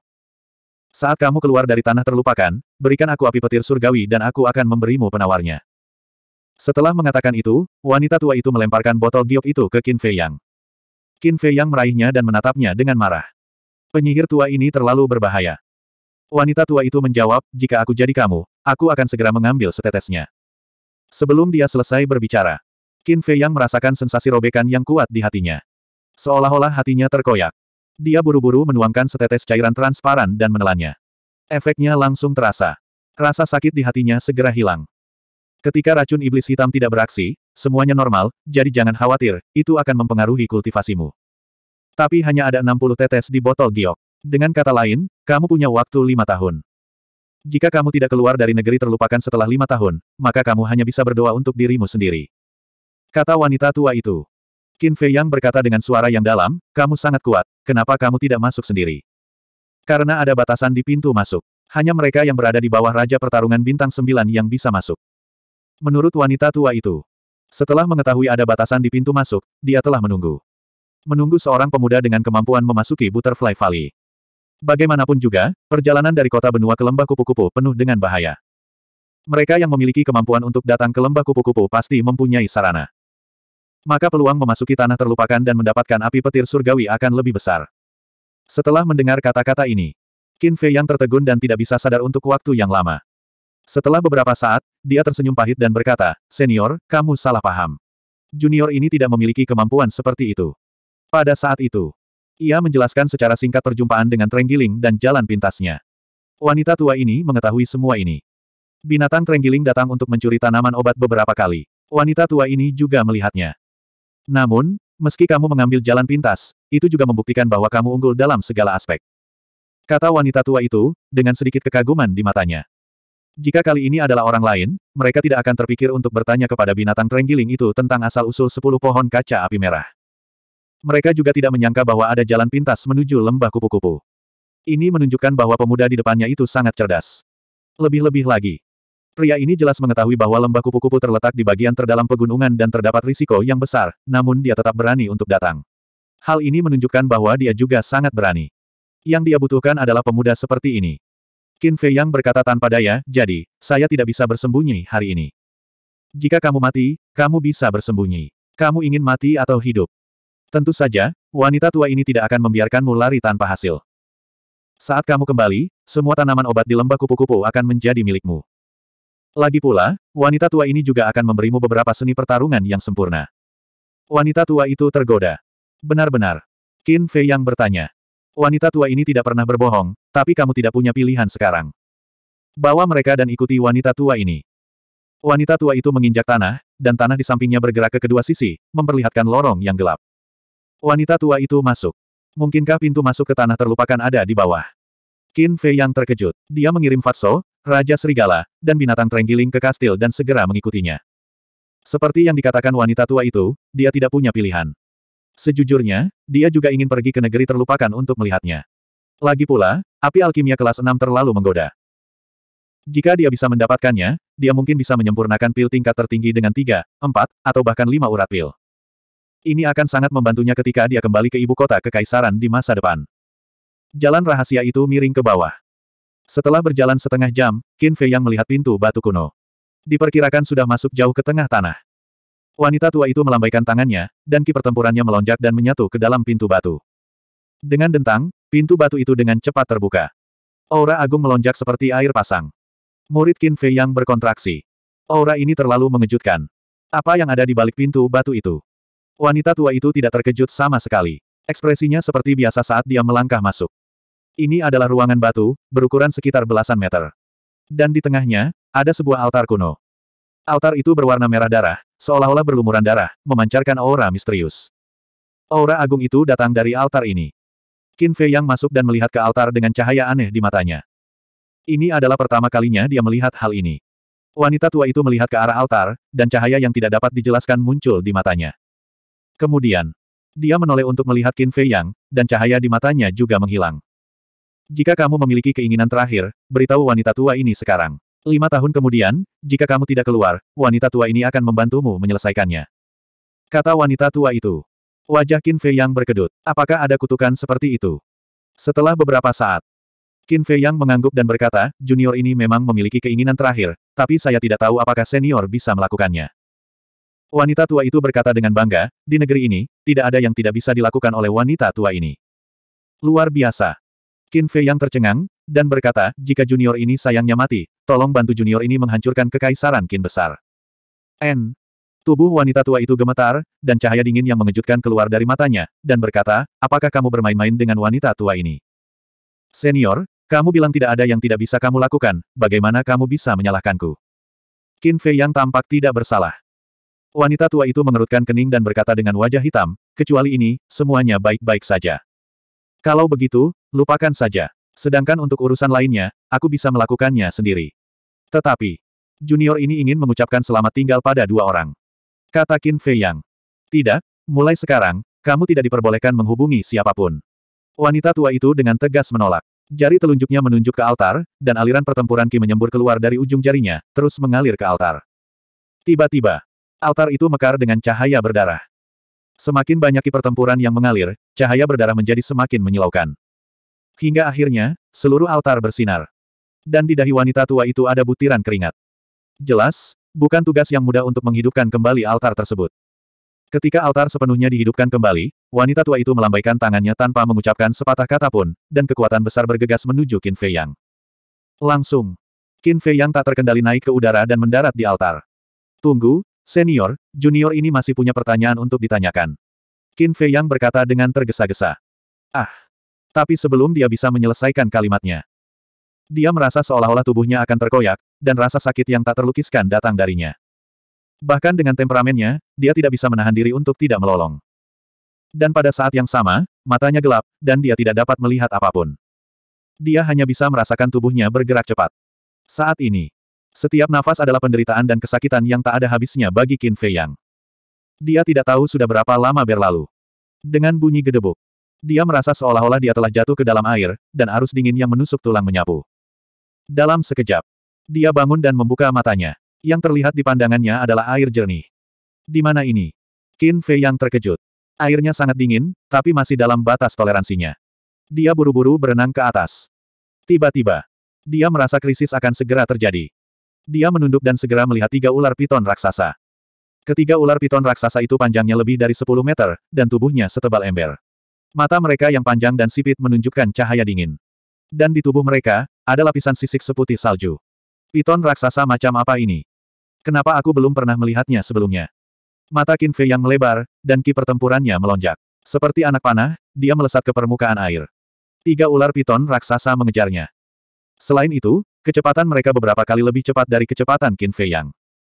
Binatang setingkat kaisar perang. Qin Fei yang terkejut. Bukankah terlalu sial bertemu dengan makhluk berdarah dingin yang begitu menakutkan saat dia datang ke sini? Dia tidak ragu-ragu bersembunyi di kastil. Fatso, Wolf King, dan Trenggiling semuanya telah terbangun.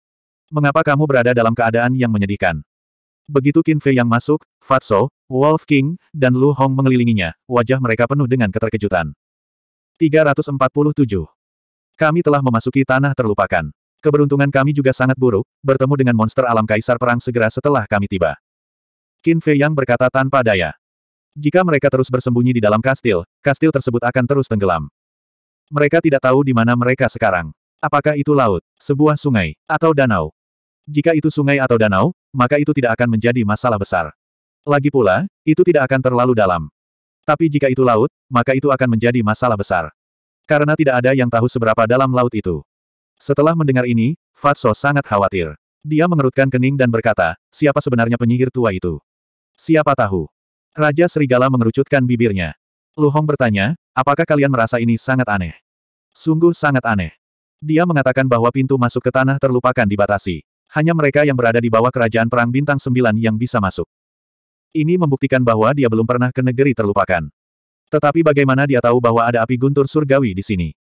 Qin Fei yang mengerutkan kening. Ini adalah pertanyaan yang ingin dia tanyakan pada wanita tua itu sebelum memasuki tanah terlupakan. Sayangnya, Wanita tua itu tidak memberinya kesempatan untuk bertanya.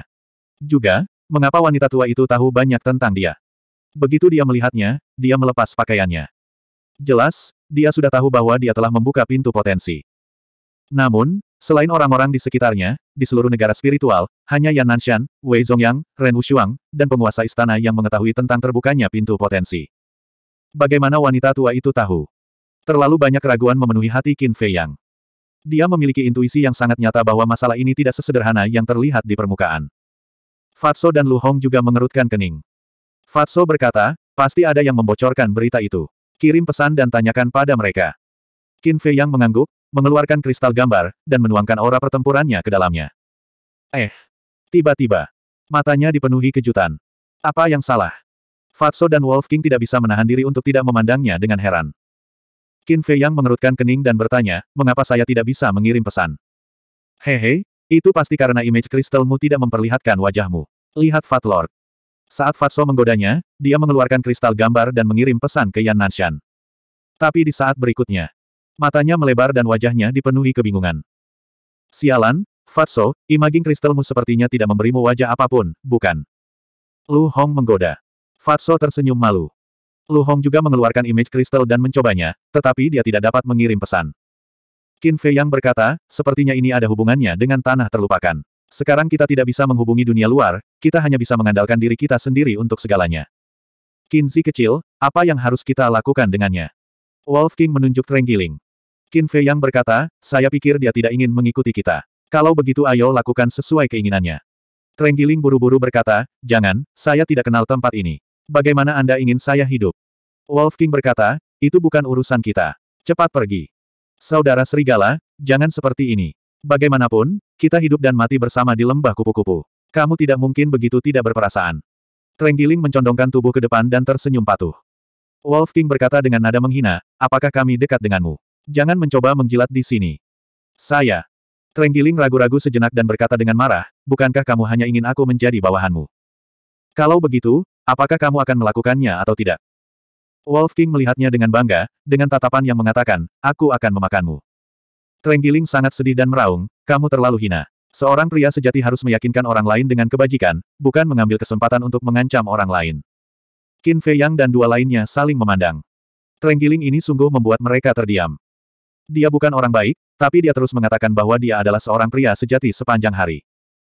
Namun, dalam kamus Wolf King, kata, meyakinkan orang lain dengan kebajikan, sepertinya tidak ada. Wolf King terkekeh dan berkata, saya hanya tahu cara menggunakan kekerasan untuk mengekang kekerasan. Apakah Anda ingin saya menunjukkannya kepada Anda? Pupil Trenggiling mengerut dan dia buru-buru berkata, oke, okay, oke, okay, oke. Okay. Selama kamu tidak mengusirku, aku setuju. Cek. Dan di sini kupikir kamu punya tulang punggung. Wolf King menghina. Huff, saat kita meninggalkan tanah terlupakan, aku akan segera pergi. Trenggiling pun bergumam di dalam hatinya.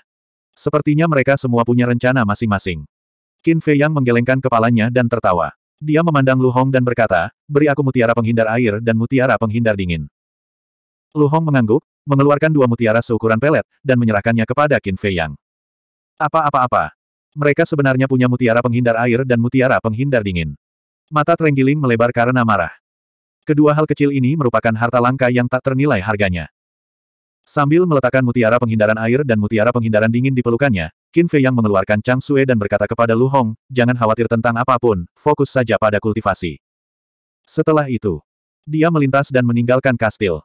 Saat berikutnya, dia muncul di dalam air. Mutiara penghindar dingin dan mutiara penghindar air segera memainkan perannya, dan dia tidak bisa merasakan dinginnya sama sekali. Qin Fei yang melihat sekeliling, merasa senang sekaligus khawatir. Ini sudah menjadi yang terbawah. Cukup jelas bahwa tempat dia berada sekarang bukanlah lautan luas. Tempat yang paling mungkin adalah sebuah danau. Karena jarang sekali air sungai sejernih itu. Ini adalah kabar baik. Namun di saat yang sama, ada juga kabar buruk. Dalam bidang penglihatannya, dia telah menemukan tidak kurang dari sepuluh binatang air. Aura mereka tidak lemah. Lebih-lebih lagi. Tiga ular piton sebelumnya juga melayang di atas kepalanya. Bagaimana aku bisa naik? Qin Fei yang mengerutkan kening. Suara mendesing. Guyuran. Ketiga ular piton itu menemukannya lagi, menyeret tubuh panjang mereka, menukik ke bawah menuju Qin Fei Yang. Mengerti. Mata Qin Fei Yang berbinar dan dia menghilang dalam sekejap. Hilang lagi. Ketiga ular piton itu menjadi marah, dan ekornya yang besar menyapu air dengan liar. Setelah beberapa saat, baru pada saat itulah mereka bubar dengan mata penuh kengganan. Segera setelah itu, Qin Fei Yang dan Fatso muncul pada saat bersamaan. Bos, kamu membunuh Tuan Gendut. Melihat binatang air di sekitarnya, wajah Fatso menjadi pucat, dan dia berteriak ngeri. Qin Fei Yang berkata sambil tersenyum sinis, jika kamu tidak ingin dimakan oleh mereka, cepatlah. Fatso gemetar dan segera memanggil sepasang sayap hitam. Ki pertempurannya melonjak, membungkus Qin Fei Yang dan bergegas. Di lembah kupu-kupu, Qin Fei Yang menemukan bahwa kecepatan Fatso beberapa kali lebih cepat dengan bantuan sayapnya. Selama dia membuat mereka lengah, dia mungkin bisa bergegas keluar. Secepatnya, Keduanya ditemukan oleh binatang air, dan mereka segera mengerumuninya dengan penuh semangat. Termasuk ketiga ular piton tersebut. Sial, bagaimana kita bisa kabur? Seru Fatso. Karena tidak hanya di bawah dan di sekitarnya, ada juga binatang air yang menukik turun dari atas. Qin Fei Yang berkata dengan marah, kapan kamu bisa mengubah sifat pemalumu? Tuan gendut lahir seperti ini, jika kamu ingin menyalahkan seseorang, salahkan orang tuaku. Kata Fatso, seolah babi mati tidak takut air mendidih. Wajah Qin Fei yang berkedut, dan dia berkata dengan nada menghina, jika orang tuamu mendengar ini, mereka pasti akan melompat keluar dari peti mati mereka dan menamparmu beberapa kali. Jangan menakutiku, Tuan Gendut itu penakut. Berhentilah bicara omong kosong, ayo pergi ke kastil. Lihat, ada begitu banyak binatang air, kita tidak bisa keluar sama sekali. Mari kita tunggu sampai kita menerobos ke Kaisar Perang. Kata Fatso cemas. Hentikan omong kosong itu. Qin Fei yang berteriak, menyapu pandangannya ke binatang air di atas, tatapannya tiba-tiba tertuju pada buaya ganas. Qin Fei yang berkata, kekuatannya belum mencapai kaisar perang, kita akan keluar dari sana. Baiklah, untuk bisa mati bersama putra kaisar, Tuan Gemuk tidak akan rugi. Serang. Fatso menguatkan hatinya, dan bergegas menuju buaya seolah sedang menghadapi kematian. Jika kamu ingin mati, matilah sendiri. Jangan menyeretku ikut. Qin Fei yang memutar matanya ke arahnya. Dengan kecepatan Fatso saat ini, itu hampir seketika. Qin Fei yang menyerang dengan telapak tangannya tanpa ragu-ragu. Di tengah telapak tangannya, cahaya kemasan muncul. Teknik pengembalian kata diaktifkan. Dia menamparkan taring buaya itu dengan telapak tangannya. Buaya itu meraung dan taringnya patah di tempat. Tubuhnya yang besar terlempar karena tamparan itu. Mengenakan biaya. Fatso juga berhenti sejenak. Tapi begitu dia melihat sekelompok binatang air, dia meraung dan bergegas tanpa menahan diri. Belum lagi, ada manfaatnya menjadi penakut. Karena dia takut mati, dia akan berusaha sekuat tenaga untuk melarikan diri pada saat kritis. Setelah beberapa napas, Fatso akhirnya bergegas keluar dari air bersama Qin Fei Yang. Wah, cantik sekali. Begitu mereka bergegas keluar dari air, mereka berdua tercengang. Yang terlihat oleh mereka adalah hamparan gunung dan sungai yang tak berujung. Di langit, salju turun. Kepingan salju menutupi pegunungan dan sungai, menghadirkan dunia seputih salju. Tapi itu juga dingin. Keduanya tidak bisa menahan diri untuk tidak menggigil. Dong. Serangkaian suara datang dari bawah. Keduanya menunduk, dan ekspresi mereka berubah drastis. Di bawah, memang ada sebuah danau yang sangat besar, setidaknya panjangnya puluhan ribu kaki. Di permukaan danau, gumpalan udara dingin naik. Binatang-binatang air itu semuanya berkerumun pada saat ini, menimbulkan gelombang besar setinggi puluhan meter. Momentumnya sangat mengejutkan. Berlari. Fatso gemetar dan dengan panik mengepakkan sayapnya, terbang menuju gletser di luar danau bersama Qin Fei Yang. Binatang air yang bisa terbang semuanya ada di alam kaisar perang. Jarak antara mereka berdua dengan cepat semakin dekat. Kepala Fatso dipenuhi keringat, dan dia menggunakan seluruh kekuatannya. Melihat mereka hendak ditangkap oleh sekelompok binatang air, mereka berdua akhirnya meninggalkan langit di atas danau. Tanpa ragu-ragu, Qin Fei yang meraih Fatso dan bersembunyi di kastil. Kastil yang terbuka juga jatuh ke arah Gletser di bawahnya. Mengaum. Melihat mangsa di mulut mereka tiba-tiba menghilang, sekelompok binatang air menjadi gila. Mereka dengan gila-gilaan menamparkan kehampaan, menghancurkan gunung dan sungai. Battle Ki melonjak, dan aura ganas mengguncang sekeliling. Setelah sekitar seratus napas, mereka kembali ke danau dengan gagah berani. Di dalam kastil, kau menakuti Tuan Gemuk sampai mati. Bos, jika kamu melakukan ini lagi, jangan salahkan Tuan Gendut karena telah menyerangmu. Fatso terjatuh ke tanah, menepuk dadanya dengan rasa takut yang masih ada. Pada saat yang sama, dia menatap tajam ke arah Qin Fei Yang. Xiao Hong lebih berani darimu, dan kamu masih berani melawanku. Setidaknya kamu laki-laki, jangan biarkan aku meremehkanmu. Raja Serigala memutar matanya. Fatso mengatupkan bibirnya dan berkata, siapa yang tidak memiliki sedikit kekurangan. Berbeda dengan Anda, yang memperlakukan rasa tidak tahu malu sebagai kemuliaan. Iya, iya, iya, kamu benar-benar tidak tahu malu. Trenggiling mengangguk setuju. Mengaum. Wolf King menjadi marah dan berlari ke arah Fatso dan Trenggiling untuk menggigit mereka, menyebabkan mereka melolong kesakitan. Lu Hong masih perlu berkultivasi, bisakah kalian berhenti berdebat? Qin Fei yang sedikit tidak berdaya. Memiliki terlalu banyak orang terkemuka juga merupakan suatu masalah. Dia mendengarkan dengan seksama selama beberapa saat, tetapi tidak mendengar apa pun. Saya akan keluar dan melihat situasinya dulu. Kata Qin Fei Yang, dan dengan cepat, dia muncul di luar. Dalam radius beberapa ratus meter, semuanya hancur. Salju tebal dari bulu angsa turun, secara bertahap menutupi area yang hancur. 348 Angin dingin bersiul dan bertiup ke wajahnya, menyebabkan dia merasakan sakit yang menusuk. Qin Fei yang menoleh dan melirik ke danau, lalu memanjat puncak es dan melihat ke bawah ke segala arah. Gletser membentang sejauh mata memandang. Tidak ada tanda-tanda kehidupan. Namun di kejauhan, dia bisa melihat bayangan beberapa binatang buas. Qin Fei yang tidak tahu apa-apa tentang tanah terlupakan, jadi dia tidak terlalu memikirkannya. Setelah melompat turun dari puncak es, dia memanggil Wolf King dan melaju ke arah timur. Eh, Qin Zi kecil, lihat, Kenapa keras salju itu begitu aneh? Seekor keras salju sedang berkeliaran di Gletser, mungkin sedang berburu makanan. Ukurannya hampir sama dengan pria tegap. Seluruh tubuhnya ditutupi bulu seputih salju. Itu telah menyatu dengan dunia es dan salju. Jika ia tidak bergerak, orang tidak akan mengira bahwa itu adalah binatang buas. Raja Serigala memandangi binatang buas itu dengan kilatan aneh di matanya. Karena keras salju itu sebenarnya berkepala dua. Qin Fei Yang mengukurnya sebentar, lalu mengerutkan kening, saya rasa saya pernah melihatnya di suatu tempat sebelumnya. Di Kekaisaran Qin besar, kera berkepala satu sangat umum. Namun dia belum pernah bertemu kera berkepala dua sebelumnya.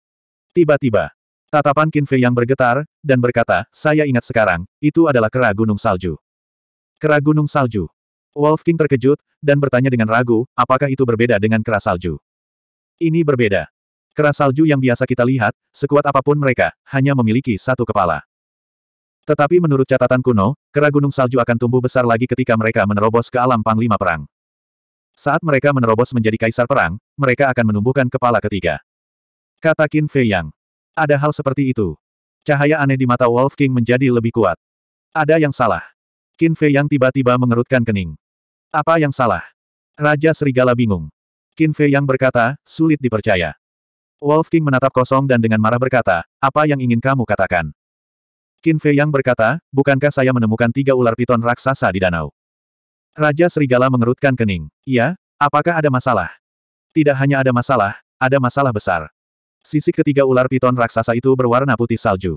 Jika ku ingat dengan benar, mereka pastilah ular piton salju. Tetapi piton salju dan kera gunung salju adalah spesies yang sudah punah. Qin Fei Yang berkata dengan sungguh-sungguh. Kepunahan. Raja Serigala bingung. Itu benar. Dulu ketika saya berada di Istana Kekaisaran, saya membaca buku kuno. Catatan kuno dengan jelas menyatakan bahwa kedua jenis binatang buas ini berasal dari 10.000 tahun yang lalu. Kata Qin Fei Yang. 10.000 tahun yang lalu. Wolf King terkejut dan bertanya dengan curiga, lalu mengapa mereka punah?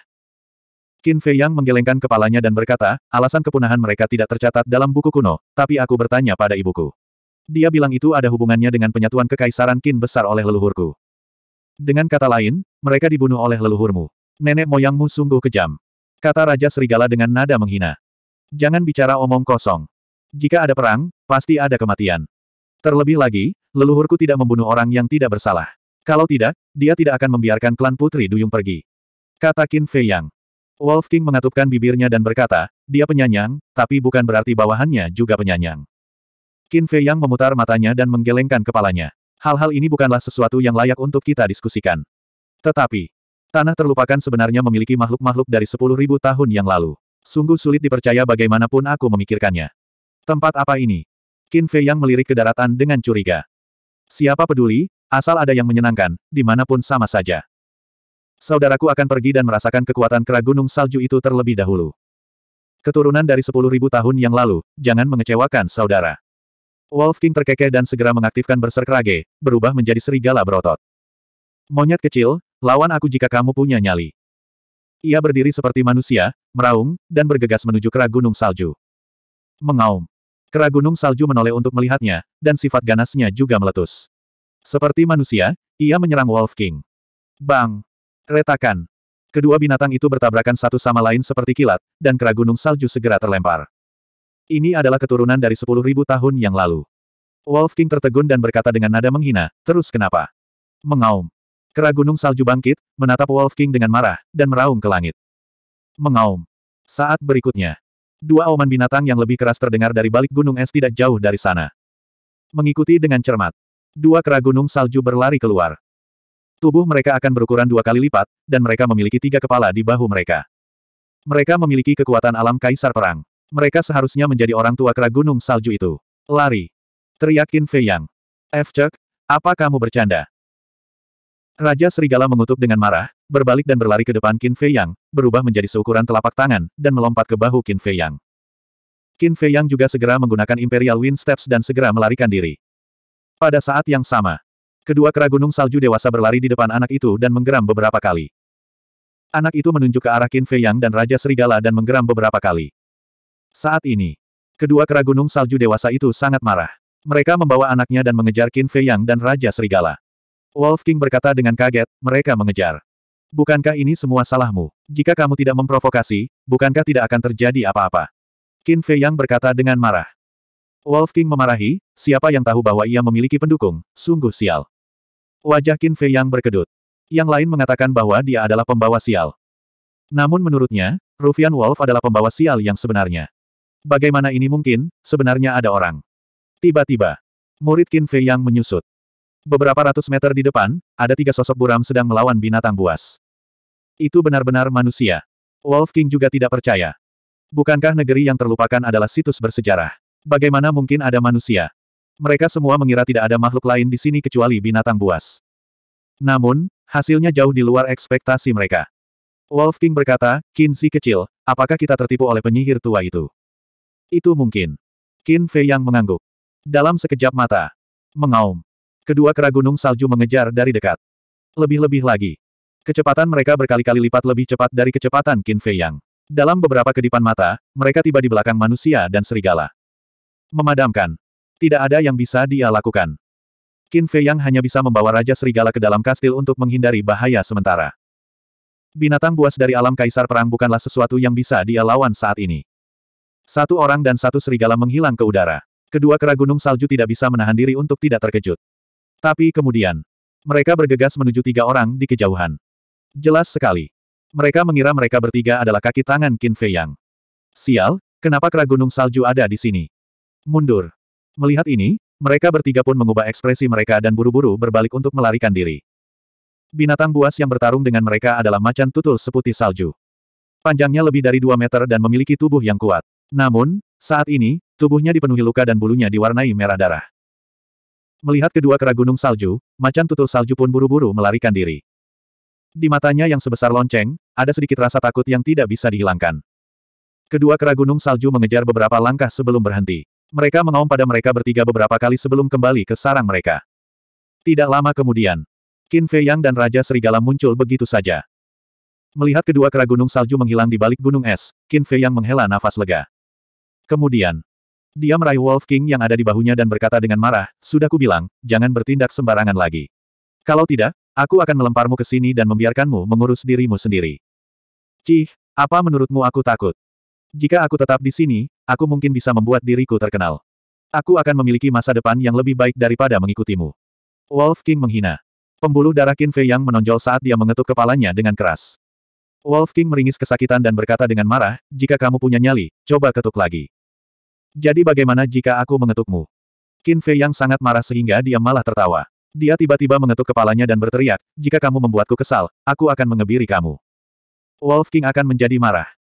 Namun ketika mendengar kata-kata tersebut, ia langsung menyusut seperti terong di bawah sinar matahari. Saya tidak percaya bahwa saya tidak bisa menaklukkan Anda. Qin Fei yang mendengus dingin dan mengejar mereka bertiga. Tempat seperti apa tanah terlupakan itu? Saat ini, hanya tiga orang yang dapat menemukan jawabannya. Di depan mereka, ada hutan yang luas. Bahkan pohon tertipis pun membutuhkan dua tangan untuk memeluknya. Pohon yang paling tebal tidak dapat dikelilingi oleh lima atau enam orang. Di dahan, ada lapisan salju tebal yang menumpuk, seperti payung besar berwarna putih salju. Itu cukup spektakuler. Ketiga orang itu saat ini sedang berkumpul di pinggir hutan. Mereka adalah dua pria dan seorang wanita, semuanya berusia sekitar 25 atau 26 tahun. Mereka semua mengenakan mantel bulu macan tutul. Salah satu dari dua pria itu tinggi dan yang lainnya pendek. Ukurannya hampir sama. Kami hendak membunuh macan tutul salju itu, tapi kedua kera gunung salju itu merusaknya. Sungguh sial. Pemuda pendek itu dengan marah menendang bagasi di sebelahnya. Pohon itu bergetar hebat, dan serpihan salju berjatuhan. Pemuda jangkung dan wanita itu buru-buru mundur ke samping dan memandang pemuda pendek itu dengan tidak senang. Mengapa kamu menatapku? Tidak bisakah aku melampiaskan amarahku? Pemuda pendek itu berkata dengan marah. Pria muda jangkung dan wanita itu saling memandang dan tidak bisa menahan nafas. Faktanya, mereka juga sangat marah. Lupakan saja, akui saja kalau kita kurang beruntung hari ini. Hari sudah larut, ayo kita kembali ke suku dulu dan kembali lagi besok. Kata wanita itu. Oke. Pemuda jangkung itu mengangguk. Sungguh sial. Pemuda pendek itu mengumpat dengan marah. Kalian bertiga, mohon tunggu sebentar. Saat mereka bertiga hendak memasuki hutan, sebuah teriakan keras terdengar dari belakang. Ada orang di sana. Mereka bertiga tertegun dan berbalik. Ketika mereka melihat Qin Fei Yang, sedikit kecurigaan muncul di wajah mereka. Pemuda pendek itu berkata, lihat, apakah binatang kecil di bahunya itu seekor serigala? Pemuda jangkung itu melihat dengan hati-hati dan mengangguk. Itu memang serigala, tapi kenapa ukurannya begitu kecil? Biarpun itu seekor anak kecil, ukurannya jauh lebih besar dari ini. Wanita itu berbisik, agak aneh, hati-hati. Kedua pemuda itu mengangguk. Selusin napas kemudian. Qin Fei Yang berlari ke arah mereka bertiga, menangkupkan tangannya dan tersenyum. Saya Qin Fei Yang. Mohon maafkan saya jika saya mengganggu kalian bertiga. Tidak apa-apa. Wanita itu tersenyum dan bertanya, mengapa kamu mencari kami? Sosok wanita itu mungil dan indah, dan pipinya semburat merah karena angin yang menusuk tulang. Secara keseluruhan, dia terlihat cukup cantik. Qin Fei Yang hendak berbicara. Pemuda pendek itu tiba-tiba berkata, tunggu. Qin Fei Yang, wanita, dan pemuda jangkung semuanya memandangnya dengan bingung. Pemuda pendek itu berkata, apakah kedua kera gunung salju itu tertarik padamu? 349. Qin Fei yang sangat sopan. Ini adalah pertama kalinya dia bersikap sopan kepada orang asing. Namun, pemuda pendek itu tidak menghargainya. Meminta maaf. Kau merusak rencana kami. Bagaimana permintaan maaf bisa menyelesaikan masalah ini? Pemuda pendek itu tidak kenal ampun. Dia melayangkan pukulan ke arah Qin Fei Yang. Ada lapisan energi vital yang mempesona di tinjunya. Hem, Qin Fei yang mengerutkan kening. Dia menggunakan wind reading steps untuk menghindari serangan itu. Dia benar-benar mengelak. Pemuda pendek itu tercengang. Dia mencibir dan berkata, ternyata kamu punya beberapa keterampilan. Pantas saja kamu berani sombong. Begitu dia selesai berbicara. Dia menggerakkan kakinya, mengangkat tinjunya dan melayangkan pukulan lagi ke arah Qin Fei Yang. Arogan. Qin Fei Yang mengangkat alisnya. Dia ramah sejak awal. Bagaimana dia bisa begitu sombong? Wolf King berkata melalui telepati, Kinzi kecil, dia hanya seorang martial grandmaster bintang tujuh. Biarkan aku menghancurkannya. Tidak perlu melakukan itu. Jika dia ingin menjadi sombong, saya akan menunjukkan kepadanya apa itu kesombongan yang sebenarnya. Kilatan dingin melintas di mata Qin Fei Yang. Dia mengangkat tangannya dan melambaikannya. Tanpa menggunakan battle aura miliknya, dia menamparkan tinju pemuda pendek itu. Dia adalah Battle King bintang 4 sekarang. Dia bisa menghancurkan Martial Grandmaster bintang 7 tanpa menggunakan battle aura miliknya. Menabrak. Lengan pemuda pendek itu langsung terkoyak. Dia terbang keluar dan menabrak batang pohon besar. Puff. Pemuda pendek itu segera mengeluarkan seteguk darah. Guyuran. Salju tebal turun dan menenggelamkannya. Dia sangat kuat. Melihat ini, pria muda jangkung dan wanita itu mau tak mau menyempitkan mata mereka. Ledakan. Pemuda pendek itu mengangkat salju dan melompat keluar. Bajingan, beraninya kamu menyakitiku. Aku akan melumpuhkanmu. Wajahnya garang. Dengan lambaian tangannya, sebuah busur besi besar dan tiga anak panah muncul. Dia meraih busur besi dan melepaskan anak panahnya. Suara mendesing. Tiga anak panah ditembakkan ke arah Qin Fei Yang, mengandung aura pembunuh yang menakjubkan. Qin Fei Yang mengerutkan kening dan berkata, itu hanya kecelakaan, apakah kamu benar-benar ingin mempermasalahkannya? Hentikan omong kosong itu. Pemuda pendek itu meraung. Hah? Qin Fei Yang mendengus dingin. Orang ini sungguh tidak masuk akal. Dia menamparkan dengan telapak tangannya, dan pedang ki merah tua menyembur keluar, berubah menjadi gelombang yang mengamuk. Setiap gumpalan ki pertempuran bagaikan bila angin tajam yang menghancurkan semua yang dilewatinya. Retakan. Ketiga anak panah itu hancur di tempat. Apa? Itu pertempuran ki. Dia sebenarnya adalah raja perang. Pemuda pendek itu merasa ngeri. Wajahnya berangsur-angsur menjadi sepucat selembar kertas. Di wajahnya, ada ketakutan yang tak terselesaikan. Celepuk. Pada akhirnya, dia terjatuh di salju, tubuhnya menggigil. Busur besi besar juga terlepas dari tangannya. Siapa orang ini? Dia tampak berusia sekitar 17 atau 18 tahun. Namun, dia sebenarnya telah menerobos ke ranah Battle King. Pria muda jangkung dan wanita itu juga sangat terkejut. Seseorang berusia 17 atau 18 tahun sebenarnya memiliki kekuatan tempur seperti itu. Benar-benar mengejutkan. Pemuda jangkung itu menangkupkan tangannya dan berkata, bolehkah saya bertanya dari suku mana Anda berasal? Suku. Qin Fei yang sedikit terkejut. Dia tersenyum tipis dan berkata, sejujurnya, saya sebenarnya hanyalah seorang kultivator nakal. Seorang kultivator nakal. Pemuda jangkung itu kaget. Kekuatan diakumulasikan dengan mengumpulkan sumber daya. Bagaimana mungkin seorang kultivator nakal yang tidak dapat diandalkan oleh siapa pun memiliki kekuatan seperti itu di usia yang begitu muda? Kecuali, orang ini memiliki semacam harta karun padanya. Pada saat yang sama, wanita itu berjalan mendekat dan membantu pemuda pendek itu berdiri. Identitas orang ini tidak diketahui. Bersabarlah untuk saat ini, kita akan membicarakannya setelah kita mengetahui latar belakangnya. Namun, saat dia bangun, wanita itu berbisik ke telinga pemuda pendek itu. Pemuda pendek itu mengangguk tanpa meninggalkan jejak. Cahaya dingin muncul di kedalaman matanya. Mereka berdua mengira rencana mereka sempurna. Namun, mereka tidak tahu bahwa Qin Fei yang telah menyadarinya. Dia tidak bisa menahan diri untuk tidak mengangkat alisnya. Ketiga orang ini sepertinya sedang merencanakan sesuatu yang tidak baik. Mata Qin Fei yang berbinar. Dia menangkupkan tangannya dan berkata sambil tersenyum, kalian bertiga, masih ada yang harus kulakukan. Aku pamit dulu. Setelah itu, dia membawa Wolf King dan memasuki hutan sendirian. Bukan karena dia takut akan masalah. Lebih baik memiliki lebih sedikit masalah daripada lebih banyak masalah. Karena ada orang dan suku di sini, dia bisa mendatangi orang lain untuk menanyakan informasi. Tidak perlu mendapat masalah. Dia pergi begitu saja. Mereka bertiga tercengang. Mereka saling memandang dan buru-buru mengejarnya. Pemuda jangkung itu tersenyum dan berkata, Saudara Qin, bukankah kamu baru saja datang kepada kami untuk sesuatu? Qin Fei yang tersenyum tipis dan berkata, tidak ada yang penting, saya hanya ingin menanyakan arah. Pemuda jangkung itu bertanya, lalu kamu mau pergi ke mana sekarang? Qin Fei yang tersenyum dan tidak berkata apa-apa. Pemuda jangkung itu menghela nafas dan berkata, Saudara Qin, sepertinya kamu tidak mempercayai kami. Tidak, hanya saja setelah kejadian seperti ini, aku tidak ingin mengganggumu lagi. Qin Fei yang tersenyum tipis. Pemuda jangkung berkata, jika hanya karena ini, saya minta maaf atas nama Liu Zhou. Pemuda pendek itu berkata dengan marah, jelas dia yang salah dulu. Kenapa kita harus minta maaf? Pria muda jangkung itu memelototinya. Liu Zhou mengerutkan kening, lalu mendengus dingin dan menundukkan kepalanya untuk merenung. Saudara Qin, sebenarnya ini bukan salah Liu Zhou. Kamu mungkin tidak tahu, tapi kami sudah lama mengincar macan tutul salju itu. Jika tidak ada kecelakaan, kami pasti berhasil memburunya kali ini. Tetapi pada saat kritis, Saudara Qin, Anda menyebabkan kami gagal dalam perburuan. Siapa pun yang menghadapi hal seperti itu akan memiliki kebencian di hatinya. Jadi, Tolong jangan salahkan dia, Saudara Qin. Pemuda jangkung itu tersenyum. Qin Fei yang berkata, saya tidak menyalahkan dia. Bagaimanapun, masalah ini memang salah saya. Wanita itu tersenyum dan bertanya, bolehkah saya tahu berapa umur Saudara Qin sekarang? Wolf King tersenyum sinis dan berkata, apa? Apakah kamu menyukai Qin si kecilku? Sederet garis hitam tiba-tiba muncul di dahi Qin Fei Yang. Serigala yang bisa bicara. Pemuda jangkung dan dua lainnya sangat terkejut. Itu tidak benar. Aura yang dipancarkan serigala ini jelas tidak terlalu kuat. Bagaimana ia bisa berbicara bahasa manusia? Mungkinkah ia meminum pil roh binatang?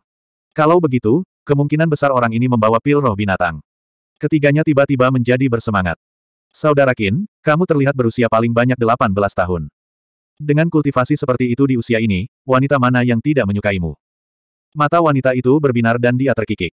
Eh, Raja Serigala tercengang. Apakah ini sebuah pengakuan? Dia bertanya sambil bercanda. Wanita itu tersenyum dan berkata, jika kamu berkata begitu, biarlah. Raja Serigala linglung. Ia selalu tidak tahu malu, tetapi pada saat ini, ia tidak tahu harus menjawab apa. Tampaknya ia pun tidak bisa berbuat apa-apa saat berhadapan dengan wanita berkulit tebal. Wanita itu melanjutkan, karena kesalahpahaman telah terselesaikan, Saudara Qin, mengapa Anda tidak ikut dengan kami ke suku tersebut? Jantung Qin Fei yang berdetak kencang. Bukankah kedua orang ini terlalu antusias? Lupakan saja, jangan sampai ada kesalahpahaman lagi. Sampai jumpa lagi. Setelah Qin Fei yang selesai berbicara, dia menggunakan langkah menunggang angin dan melaju ke depan. Melihat ini, wajah pemuda jangkung itu menunjukkan sedikit permusuhan, dan dia mendengus dingin, kamu benar-benar tidak menginginkan wajah. Wanita itu berkata, dia pasti memiliki banyak harta karun. Jika kita bisa mendapatkannya, kekuatan kita pasti akan meningkat pesat dalam waktu singkat. Hati pemuda pendek itu bersemangat, dan dia tidak sabar untuk berkata, kalau begitu tunggu apa lagi, ayo bergandengan tangan dan bunuh mereka sekarang. Jangan bertindak gegabah. Kekuatan orang itu tidak sederhana. Dan serigala itu, membuatku merasa bahwa dia lebih kuat dari manusia itu. Melihat ke arah mana mereka pergi, mereka harus melewati suku kita. Mari kita ambil jalan pintas, mengejar mereka, dan menyiapkan penyergapan terlebih dahulu. Kata pemuda jangkung itu. Liu Zhou dan dua lainnya mengangguk. Di hutan di depan. Qin Fei Yang berkata dengan sungguh-sungguh, serigala bermata putih, perhatikan gerakan di sekitarnya. Apa? Raja Serigala terkejut. Qin Fei Yang berkata, ketiganya memiliki motif tersembunyi, apa yang harus mereka rencanakan? Hanya mereka. Wolf King menghina. Qin Fei Yang berkata, jangan meremehkan siapa pun. Ada juga binatang buas di hutan. Namun kekuatan mereka tidak terlalu kuat, pada dasarnya antara marsial leluhur dan raja pertempuran. Mereka tidak menimbulkan banyak ancaman bagi Qin Fei Yang dan Raja Serigala. Sekitar satu jam kemudian, seorang pria dan serigala akhirnya keluar dari hutan. Sebuah benteng gunung besar memasuki garis pandang mereka. Desa itu terdiri dari ratusan rumah dengan berbagai ukuran. Luasnya sekitar satu mil, dan didukung oleh gunung salju yang tingginya lebih dari seratus kaki. Rumah-rumah itu semuanya terbuat dari kayu, dan atapnya tertutup salju tebal. Beberapa rumah mengeluarkan asap yang mengepul dari cerobong asapnya. Di tanah bersalju, banyak anak-anak yang tertawa dan bermain tanpa henti sambil bersenang-senang. Di sekitar desa terdapat deretan pagar setinggi lebih dari 3 meter. Di setiap jarak, ada orang kuat yang menjaga untuk mencegah binatang buas masuk ke desa. Di kedua sisi gerbang desa, ada empat orang kuat yang menjaga, semuanya dengan kekuatan Raja Pertempuran Bintang Satu. Di atas gerbang, ada papan kayu lebar dengan empat kata besar terukir di atasnya. Suku Liu. Qin Fei yang melirik suku itu dan melangkah mendekat. Wolf King tiba-tiba berkata, pemuda pendek tadi sepertinya bernama Liu Zhou, mungkinkah dia berasal dari suku ini? Qin Fei yang segera berhenti, menatap suku Liu, dan berbalik untuk pergi. Ledakan. Namun, saat ini, satu demi satu sosok melompat keluar dari bawah tumpukan salju di sekelilingnya. Ada lebih dari 30 orang. Ada pria dan wanita, tua dan muda. Ada yang memegang pisau tajam, ada yang memegang busur besi besar, dan tanpa kecuali, mereka semua memasang ekspresi tidak ramah. Qin Fei yang melirik mereka satu per satu. Kekuatan orang-orang ini bahkan lebih kuat dari empat penjaga di gerbang suku. Namun, dia tidak menemukan kaisar pertempuran apa pun. Tiba-tiba, tatapan Qin Fei yang tertuju pada suatu tempat. Di sana berdiri dua pria dan seorang wanita, itu adalah Liu Zhou dan dua orang lainnya yang dia temui sebelumnya. Kenapa ini? Qin Fei yang mengerutkan kening. Mengapa? Liu Zhou mencibir, jika bukan karena kamu, apakah cita itu bisa melarikan diri? Jadi Anda harus memberikan kompensasi. Qin Fei Yang melirik semua orang dan berkata dengan acuh tak acuh, saya pikir kompensasinya hanyalah kedok. Yang sebenarnya Anda inginkan adalah tas Qian Kun untuk saya, bukan? Iya. Liu Zhou dan dua lainnya saling memandang, mata mereka dipenuhi keterkejutan. Bagaimana dia tahu? Haha. Pemuda jangkung itu tertawa dan berkata, karena kamu sudah tahu, serahkan saja. Wanita itu mengikuti, selama kamu menyerahkannya, kami akan melepaskanmu. Qin Fei Yang berkata, jika saya tidak menyerahkannya, apakah Anda akan membunuh saya? Kamu sangat pintar, jadi sebaiknya kamu bersikap bijaksana. Meskipun kamu sangat kuat, ada banyak orang yang lebih kuat darimu di suku Liu. Kamu tidak bisa mengalahkan kami. 350. Qin Fei Yang berkata, kalian bisa menjadi begitu benar bahkan setelah membunuh dan merampok. Saya sangat mengagumi kalian. Namun, saya sangat menyesal. Dalam kamus saya, Qin Fei Yang, kata, bijaksana, tidak ada. Izinkan saya memberi Anda sedikit nasihat. Sebaiknya Anda segera menyingkir. Qin Fei Yang sudah kehilangan kesabarannya. Merampok di siang hari bolong. Orang-orang ini benar-benar melanggar hukum. Apakah mereka benar-benar mengira dia penurut? Liu Zhou berteriak, ya ampun, apakah kamu mendengar itu? Dia mengancam kita. Haha. Orang-orang di sekitar mereka tertawa terbahak-bahak. Seolah-olah mereka baru saja mendengar lelucon paling lucu di dunia. Alis mereka juga dipenuhi dengan ejekan dan penghinaan. Wanita itu memandang pria kekar di sebelahnya dan berkata dengan hormat, Pemimpin, sebaiknya kita bunuh saja pria sombong ini. Pria kekar itu mengenakan mantel bulu harimau emas. Dia memiliki tubuh kekar dan wajah kasar. Dia dipenuhi dengan aura gagah berani. Dia menatap Qin Fei Yang dengan tatapan mematikan di matanya. Membunuh mereka. Mengikuti perintahnya, orang-orang yang memegang busur besi besar semuanya mengeluarkan anak panah dari tempat anak panah di punggung mereka. Mereka menarik busur dan memasukkan anak panah sekaligus. Suara mendesing. Langsung. Lebih dari sepuluh anak panah dingin ditembakkan ke arah Qin Fei Yang dan Raja Serigala seperti ular berbisa yang memamerkan taringnya. Dalam sekejap, kekosongan di sini dipenuhi dengan aura pembunuh. Suara mendesing. Pada saat ini, Qin Fei yang mulai bergerak. Dia menggunakan langkah berkuda angin dan terus menghindari anak panah saat dia langsung menuju Liu Zhou dan dua lainnya. Dia sangat cepat. Cepat, cepat, cepat, hentikan dia. Mereka bertiga mengubah ekspresi mereka. Qin Fei yang jelas ingin membunuh mereka terlebih dahulu. Liu Zhou secara pribadi telah merasakan kekuatan Qin Fei Yang. Pemuda jangkung dan wanita itu juga telah melihatnya dengan mata kepala sendiri. Bahkan jika mereka bergabung, mereka mungkin bukan tandingannya. Sebelum dia selesai berbicara, dua pria kekar melangkah maju dan berdiri di depan Qin Fei Yang. Ledakan. Keduanya melayangkan pukulan. Aura yang kuat menyapu ke segala arah dan salju menari-nari di udara. Kedua pria ini adalah Battle King Bintang 5. Suara mendesing. Sementara itu, lebih dari selusin anak panah ditembakkan ke arah kaki Qin Fei Yang seperti sambaran petir. Qin Fei Yang berteriak, serigala bermata putih, bunuh semua orang yang menembakkan panah. Aku sudah menunggumu mengatakan itu. Mata Wolf King bersinar dengan cahaya yang tidak menyenangkan. Dia melompat turun dari bahu Qin Fei Yang. Gemetar, kamu semut. Dengan suara gemuruh, ia langsung mengaktifkan berserk rage dan berubah menjadi serigala berotot. Anak panah yang ditembakkan itu seperti kayu mati di depannya, tidak mampu menahan satu pukulan pun. Dengan lambaian cakarnya, semua anak panahnya hancur. Mengikuti dengan cermat, ia bergegas menuju orang-orang yang menembakkan anak panah itu. Apa? Itu benar-benar bisa berubah. Anggota suku Liu di sekitarnya semuanya terkejut, wajah mereka dipenuhi rasa tidak percaya. Ah! Dua jeritan terdengar. Dua pria dengan busur besi kepalanya dihancurkan oleh cakar Raja Serigala. Dalam keadaan mengamuk, ia memiliki kekuatan tempur kaisar pertempuran bintang tujuh. Mereka yang menembakkan anak panah pada dasarnya adalah Raja Pertempuran Bintang satu hingga tiga nafas. Bagaimana mereka bisa menjadi pasangannya? Itu adalah pembantaian sepihak. Satu demi satu, jeritan darah yang mengental terdengar berturut-turut. Satu demi satu, klan suku Liu terus-menerus jatuh ke dalam genangan darah. Darah segar mewarnai tanah bersalju menjadi merah. Sungguh pemandangan yang mengerikan. Pada saat yang sama, Qin Fei Yang juga tidak takut saat dia menyerang dua raja pertempuran bintang lima.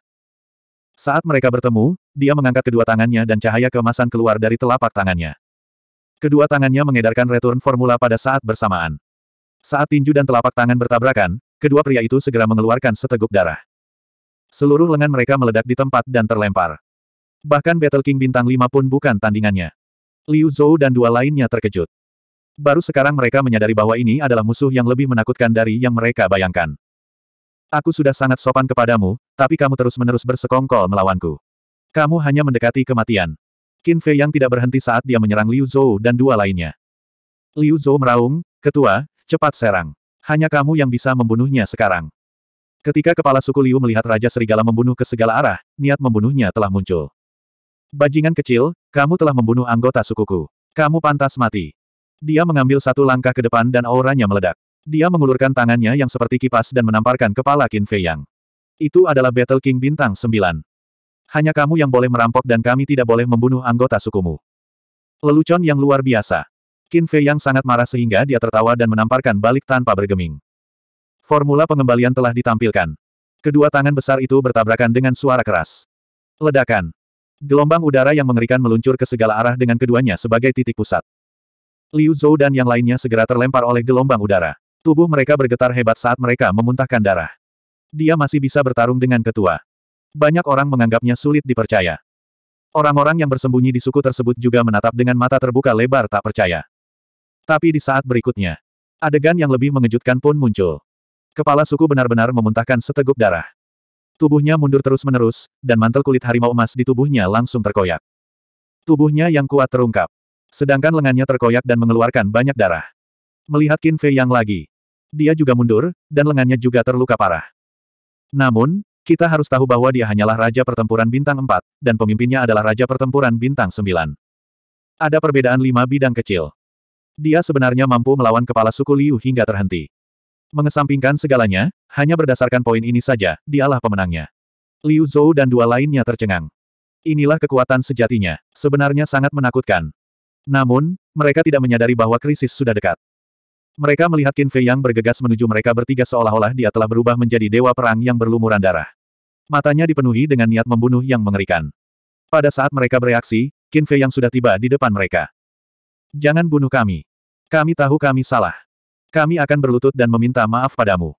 Mereka bertiga langsung ketakutan. Mereka berlutut di salju dan bersujud sekuat tenaga. Situasinya telah berkembang hingga saat ini. Apakah menurut Anda permintaan maaf ada gunanya? Tangan besar Qin Fei Yang mengulurkan tangan dan menghancurkan kepala ketiganya tanpa ampun. Bang! Langsung. Ketiganya jatuh ke tanah dan mati. Hanya jeritan ketakutan mereka yang bergema di langit di atas suku tersebut dan tidak menghilang dalam waktu yang lama. Setelah membunuh mereka bertiga, Qin Fei Yang mengeluarkan pil penyembuh dengan dua pola dan melemparkannya ke mulutnya. Lengannya yang dimutilasi parah segera sembuh. Pada saat yang sama, pertarungan di pihak Wolf King juga telah berakhir. Kecuali kepala suku Liu dan lelaki tua berpakaian hitam, semua orang terbunuh. Mayat tergeletak di salju, dan darah mewarnai sebagian besar area menjadi merah. Rasanya seperti neraka Asura, dan bau darahnya menyengat. Beraninya kamu mencuri tas kosmos kami dengan kekuatan sekecil itu. Raja Serigala berjalan ke sisi Qin Fei Yang dan memandang kepala suku Liu dan lelaki tua berpakaian hitam. Matanya yang seperti lonceng dipenuhi dengan rasa jijik. Mereka semua mati. Mereka berdua sepertinya tidak mendengar saat mereka melirik mayat anggota suku mereka. Tangan mereka terkepal erat, dan jantung mereka berdarah. Orang-orang ini adalah elit suku dan pilar suku. Mereka tidak menyangka bahwa dalam sekejap, mereka semua tergeletak di tanah. Aku akan mencabik-cabikmu. Kepala suku Liu tiba-tiba memandang Qin Fei Yang dan Raja Serigala dengan wajah bengkok dan galak. Kau menyalahkan kami. Jika bukan karena keserakahanmu yang tak terpuaskan, apakah mereka akan mati? Jika kamu benar-benar ingin menyalahkan seseorang, kamu hanya bisa menyalahkan dirimu sendiri. Kamulah penyebab kematiannya. Qin Fei Yang berkata dengan ringan. Di bawah penyembuhan pil penyembuh, luka di lengannya telah sembuh. Dia yakin bisa menyingkirkan kepala suku Liu. Haha. Tidak peduli apa katamu, kamu harus mati hari ini. Kepala desa tertawa dengan marah. Jika aku tidak membunuhmu, mereka tidak akan bisa beristirahat dengan tenang. Orang tua berpakaian hitam itu juga berbicara. Suaranya serak dan rendah, dan penuh niat membunuh yang kuat. Ledakan. Keduanya gemetar dan mengaktifkan jiwa pertarungan mereka pada saat yang bersamaan. Jiwa pertarungan sang kepala suku adalah macan kumbang hitam. Panjang tubuhnya puluhan meter, dan ganas. Jiwa pertarungan lelaki tua berpakaian hitam itu adalah sabit raksasa, seperti sabit malaikat maut. Tubuhnya hitam pekat, dan gigi gergajinya menunjukkan ketajaman yang menakjubkan. Kalian benar-benar keras kepala. Diamlah, jangan takut padaku. Wolf King tertawa, dan tubuhnya memancarkan cahaya keemasan, dan bayangan binatang emas raksasa muncul di belakangnya. Mengupas. Serigala Raja berteriak. Kedua jiwa pertarungan segera melayang menuju bayangan binatang emas. Pada akhirnya, mereka ditelan oleh bayangan binatang emas. Bagaimana ini bisa terjadi? Keduanya ketakutan. Mereka benar-benar tertelan. Jiwa pertarungan macam apa itu? Itu terlalu menakutkan. Namun, pada saat berikutnya, tubuh dan pikiran mereka bergetar, dan wajah mereka dipenuhi rasa tidak percaya. Mereka tidak bisa memanggil jiwa pertarungan mereka lagi. Sekarang, bunuh. Qin Fei Yang berteriak dengan suara rendah. Manusia dan serigala itu seperti malaikat maut, dan mereka bergegas menuju mereka berdua. Ketua, Imam Besar, hati-hati. Melihat ini, orang-orang yang bersembunyi di suku tersebut buru-buru berteriak.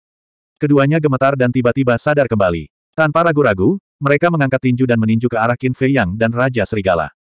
Namun, itu jelas sedikit terburu-buru. Biarkan aku yang melakukannya. Teriak Qin Fei Yang.